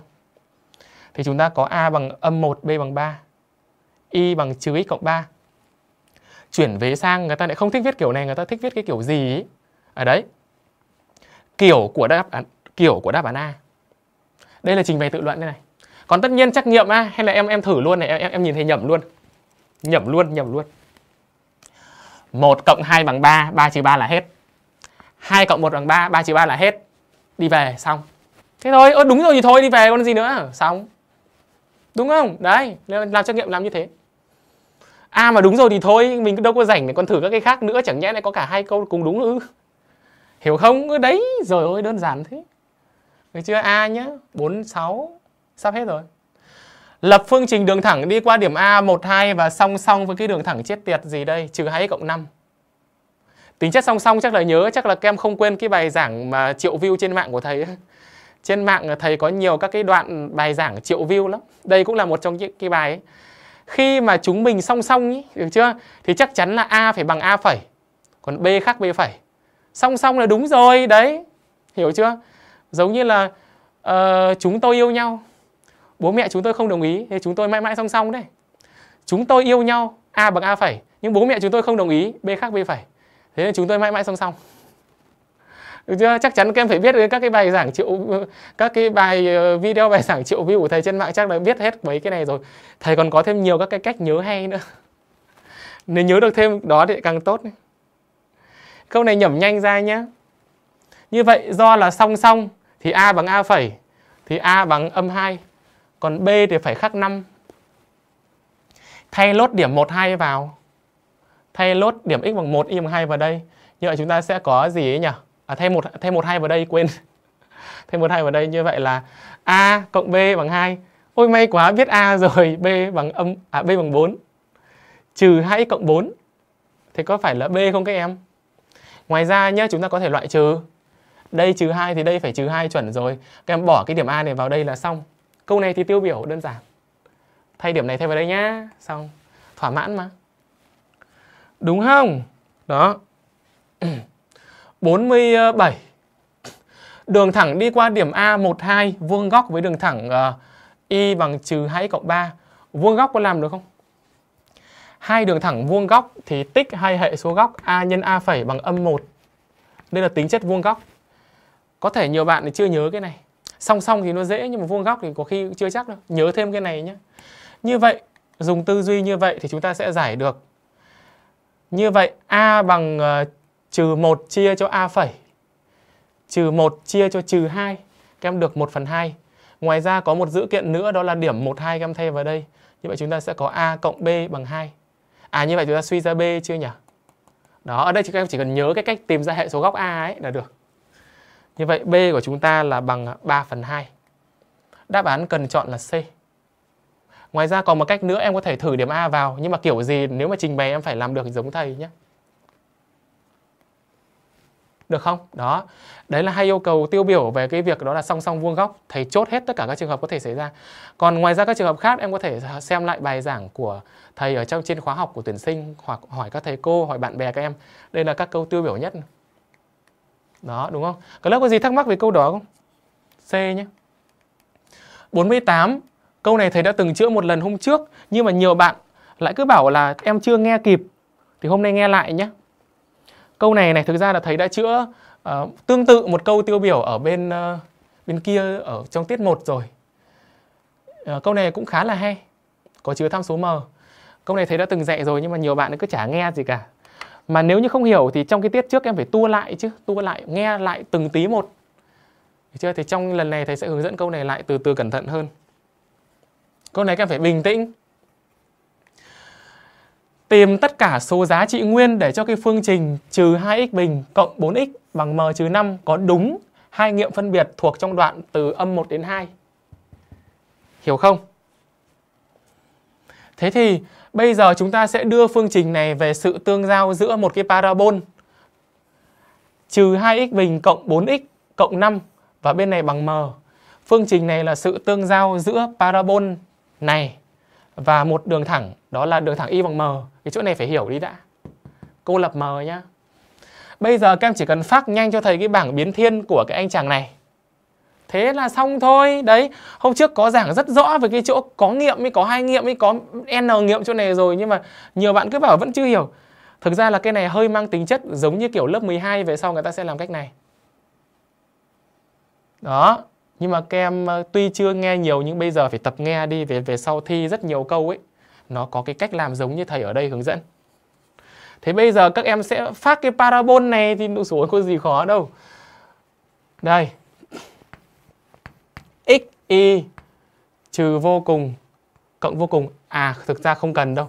Các em chỉ cần viết luôn âm 1 đến 2 các em bỏ qua cái giai đoạn vô cùng đi. Vì nó cũng không cần. Bây giờ các em tính cho thầy cái đỉnh parabol thì cái này là hệ số A của em. Em nhìn vào đây thì hướng dẫn này A âm này. Như vậy là hướng hướng xuống này. Đỉnh parabol các em tìm được là bao nhiêu nhỉ? Nếu mà các em tìm đỉnh parabol thì nó sẽ là trừ bao nhiêu đây? Đỉnh parabol là đỉnh số 1. Đỉnh số 1 nhá. Đây. Các em tính ra đỉnh parabol là đỉnh ờ, uh, 17. Đây 7 thầy đã tính cho hộ em ra đây rồi. Công việc của em là tính lốt thay hai số âm 1 và 2 này vào cái parabol ý. Thì thầy đã tính hội ra đây rồi nhá để đỡ thắc mắc nhiều. Thì âm 1 các em tính ra bằng âm 1. Còn cái này nha. 2 thì tính ra 5. Các em để ý một tí là 7 nó phải cao hơn 5 nhá, nó cao hơn âm 1. Các em vẽ là phải tương đối chính xác. Sau khi phát được cái dạng parabol này rồi thì em vẽ cho thầy cái đường thẳng y bằng m nằm ngang cắt qua đây. Đề họ hỏi là đúng hai nghiệm phân biệt. Thì chúng ta chọn cái vị trí nào mà nó cắt đúng hai nghiệm thì cắt vào giữa chứ còn ở đây còn ở đâu nữa. Đây là đường thẳng y bằng m. Cắt vào giữa. Giữa từ đâu đến đâu? Giữa từ 5 đến 7. Thì là hai nghiệm. Còn nếu nhá, các em cắt trên 7 là nó vô nghiệm. Mà cắt bằng 7 thì nó có một nghiệm. Các em mà cắt dưới 5 thì nó cũng chỉ có một nghiệm thôi, em tưởng tượng được ra. Nhưng cho thầy hỏi nếu cắt bằng 5 thì sao? Cắt bằng 5 vẫn có hai nghiệm. Đây là một chỗ quan trọng nhất của bài này. Các em nghe kỹ, rất nhiều bạn bỏ quên giá trị đó là 5. Các em nên nhớ là cắt giữa thì chắc chắn là chuẩn rồi. Nhưng các em phải xê dịch cái này từ trên xuống dưới, em phải xét tất cả các trường hợp có thể thỏa mãn. Thế thì trường hợp 7 thì không lấy nhưng trường hợp 5 là vẫn thỏa mãn ở đây một cái và đây một cái hướng lên. Câu này cả lớp phải bình tĩnh. Lên lớp 12 người ta mới dùng đạo hàm còn bây giờ các em lớp 10, lớp 10 là bây giờ nó cứ phải vẽ từ từ cái này thôi. Như vậy, chúng ta nhìn vào đây ta sẽ thấy ngay đó là nửa khoảng từ 5 đến 7 các em phải đếm hết sức cẩn thận. Đó, đó là lấy được 5, không lấy 7. Các cái câu khó thường nó nó chỉ uh, kiến thức nó chỉ gọi là nó gọi là nó hơi nâng một chút và phải cẩn thận một chút về một số cái dấu bằng để đừng đếm nhầm thôi. Còn về mặt ý nghĩa thì số nghiệm rất đơn giản, số nghiệm chính là số giao điểm của hai đồ thị, có gì đâu. Người ta thích hỏi em mấy nghiệm em đều trả lời được. Nhớ là thầy đã phân tích rất cẩn thận từ từ rồi, các em nghe cắt kiểu gì nghe nhá. Nhớ chưa? Như vậy, M nguyên Nên chúng ta chỉ có hai giá trị 5, 6. Chọn C. Chính xác. À đâu? Chọn B. B, B. Chỗ này đứa nào ghi? C này. B có hai giá trị 5, 6 thôi. Nghe kỹ nhá. B. B, B. Đừng có chọn C ở đây. Chọn C không đúng đâu. Hết chưa nhỉ? Đó. 49. Một số câu hình cho vui. Một số câu hình này lại dễ. Thôi, làm nốt hai câu hình. Thực ra hình thì uh, thầy cũng đã hướng dẫn rất là nhiều rồi. Thế cả lớp. Thực ra thầy chuẩn bị những hơn 50 câu hỏi cơ. Nhưng mà không chắc là chữa 50 cơ. Cho nó tròn thôi. Còn mấy câu này thầy nghĩ là các em làm được. 50. Tính độ dài đoạn thẳng ta học chưa ấy nhỉ? Nếu mà chưa học thì là mình bỏ qua nhỉ? Được chưa? 50 à 49 Câu này chúng ta biết cách tính độ dài đoạn thẳng chưa nhỉ? Cái này thì cũng đơn giản thôi, thầy cho cách tính nhanh thôi. À cái này học rồi nhỉ? Người ta sẽ có công thức như sau. Chúng ta có AB được tính bằng căn bậc 2 của sau trừ trước xb trừ xa tất cả bình, cộng ib trừ ia tất cả bình. Cái này hình như ở lớp học chưa ấy nhỉ? Có công thức chưa? Như vậy chúng ta sẽ có 1 trừ trừ 3 thành 1 cộng 3 tất bình, cộng với 4 trừ đi 2 tất bình. Các em có tính ra là căn 20 không? 2 căn 5. Đáp án B. Đáp án B. Mọi người có ra 2 căn 5 không? B nhé. 4,2 á. Thôi chắc là 2 căn 5 đấy. 2 căn 5. 50. Câu này thì chắc tiêu biểu này. Trong mặt phẳng tọa độ OXY, OC cho ABC tam giác A âm 12, B 3 âm 1, C 23 tìm tọa độ vector U bằng trừ 2 vector AB cộng BC. Ô câu này thì cũng thực ra cho điểm. Mấy cái tổng hiệu vector thì chắc là làm được. Mấy cái tổng hiệu vector này thì chắc là làm được. Các em tính nhanh hộ thầy câu này nhé. Công thức này chưa học á? Ơ lại nhở. Thế thì mình lại cho trước chương trình à? Không sao. Cái bài trước nhá, thầy nhắc lại công thức này. xb trừ xa tất cả bình cộng với ib trừ a chắc là thầy tại vì có khi là thầy soạn trước chương trình đấy, không sao đâu. Tất cả bình đây là cách tính độ dài đoạn thẳng AB hay cũng chính là khoảng cách dây điểm AB cũng được. Thôi không sao, thỉnh thoảng có câu học trước chương trình một tí đằng nào chả phải học. Nhưng mà câu này học rồi. Câu này thì dễ thôi, câu này tính cho thầy nhá.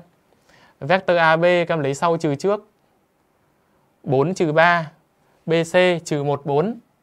Từ đây lấy trừ hai lần cái này rồi cộng với cái kia. Các em có ra trừ 9 10 không? Các em có ra trừ 9 10 không? Công thức đây rồi chép lại nhé, bộ câu 49 này. Ghi lại vào vở. Đáp án A nhé, thôi đi về thôi. Thôi đi về thôi, đáng nhẽ thầy định soạn hơn 50 nhưng mà thôi 50 cho tròn cho thôi đi về thôi. Đồng hồ, ôi giao thừa rồi các em. Đúng lúc đồng hồ điểm 12 giờ thôi giao thừa rồi đi về đây. Không học nữa đâu. Nói chung là đáng nhẽ thầy định soạn thêm nữa nhưng mà thôi chắc thế thôi lần sau nhé lần sau nếu tuần sau mà vẫn còn chưa thi nữa thì tiếp tục có đề ba còn nếu không thì nói thật dừng ở đề hai này thôi quá đầy đủ rồi, không còn muốn dạy thêm cái gì nữa. Em xem trong này của thầy nó có còn thiếu kiến thức gì nữa đâu, hết sạch rồi, không còn một cái gì nữa. Nói chung là chi tiết đến từng khe nhỏ rồi, không có cái gì nữa. Dừng dừng được rồi đấy, dừng. Nếu có cái gì cần học thêm thì có thể hỏi trên khóa học tuyển sinh 247 của thầy. Trên đó có đầy đủ hết, hoặc là hỏi các thầy cô, bạn bè của em.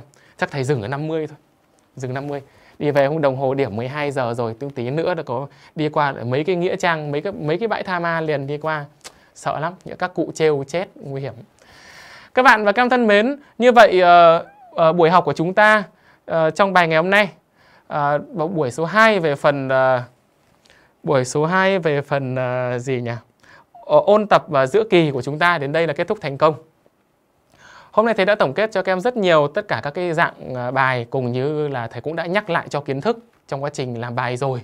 Đó, có đầy đủ cả đại cả hình. Thầy mong là các em xem bài giảng thì thật là kỹ và cẩn thận giúp cho thầy. Nhớ chưa? Nếu có gì mà khó khăn giải đáp em có thể lên tuyển sinh hỏi nhé. Và bài giảng vẫn được mà giữ lại, thầy vẫn lưu video bình thường nhé. Bài giảng vẫn để ở trên uh, YouTube của tuyển sinh 247.com và còn có phát ở trên tuyển à, trên YouTube của thầy công chính nhé thầy công chính có đó thì thầy mong là các em xem thật cẩn thận giúp cho thầy đấy một số cái buổi này chúng ta tuy là kết thúc hơi muộn nhưng mà thầy đã giải quyết cho các em thành công tất cả các câu các em nên nhớ là trong quá trình làm bài nếu như chỗ nào mà cảm thấy mà mình chưa hiểu được kịp thì tua lại để xem nhé. Thật ra là thầy đã cố gắng giảng cẩn thận chi tiết nhất có thể rồi. Không quá chậm mà cũng không quá nhanh. Nhưng trong quá trình làm bài do thầy phải chữa cho các em, giải thích cho các em rất nhiều cách nữa. Đó, thế nên là tất nhiên nếu mà các em làm luôn ấy thì bao giờ nó cũng sẽ nhanh hơn, các em sẽ khoanh phút một luôn. Nhưng thầy phải giảng thêm cho các em nữa nên là cũng khá là mất nhiều thời gian. Mà đến bây giờ rất nhiều bạn còn à, đang ờ, theo dõi bài giảng được. Thực sự là thầy thấy các em rất đáng ngợi khen và các em cũng rất là kiên trì, bền bỉ. Đó cũng là một trong những điều mà thầy thấy là thầy cũng rất tự hào với các em. Được chưa nhỉ? Đó. Và tất nhiên rồi, chỉ có vài buổi ôn tập này thôi là thầy hướng dẫn được cho uh, đến tận bây giờ, tới chi tiết tận bây giờ. Còn uh, bắt đầu từ những bài sau giờ đi thì thầy sẽ bắt đầu dạy cho các em bài mới luôn theo chương trình hoặc là thầy sẽ tạm ngừng một hai buổi. Thầy tiếp tục còn phải ôn cho các anh chị lớp 11, 12. Ai cũng mong ngóng, ai cũng đều muốn học. Ai cũng động lực, ai cũng quyết tâm. Ai cũng uh, thích thầy dạy. Đấy ví dụ như thế. Thế nên là bạn nào mà nếu mà có thi rồi vẫn có thể xem bài giảng để về sau ôn học kỳ. Kiến thức không bao giờ là thừa. Kể cả mình biết làm rồi mình vẫn nên xem để mình không bị mắc lỗi rồi mình có thêm các cách giải nhanh. Tại vì thầy có nói là những câu này làm nền tảng vẫn thi đại học bình thường. Tuy rằng thi đại học không phải là người ta đưa ra đúng những câu y hệt như thế này, nhưng dạng thức câu hỏi của người ta giống như thế này. Và kiến thức của 12 xuất phát nền tảng rất nhiều từ lớp 10. Đó. Vậy nên có gốc hay không nó nằm ở đây. Nhớ chưa nhỉ? Đó, làm được tốt như bây giờ thì làm tốt từ bây giờ thầy tin tưởng rằng về sau các em sẽ luôn luôn là người làm chủ kiến thức và sẽ luôn luôn bước được qua những cái cánh cổng giống như cánh cổng parabol mà thầy có nói với các em trong các ờ, câu hỏi mà thầy ra ấy. Đó, đấy, bước được qua các cánh cổng đó.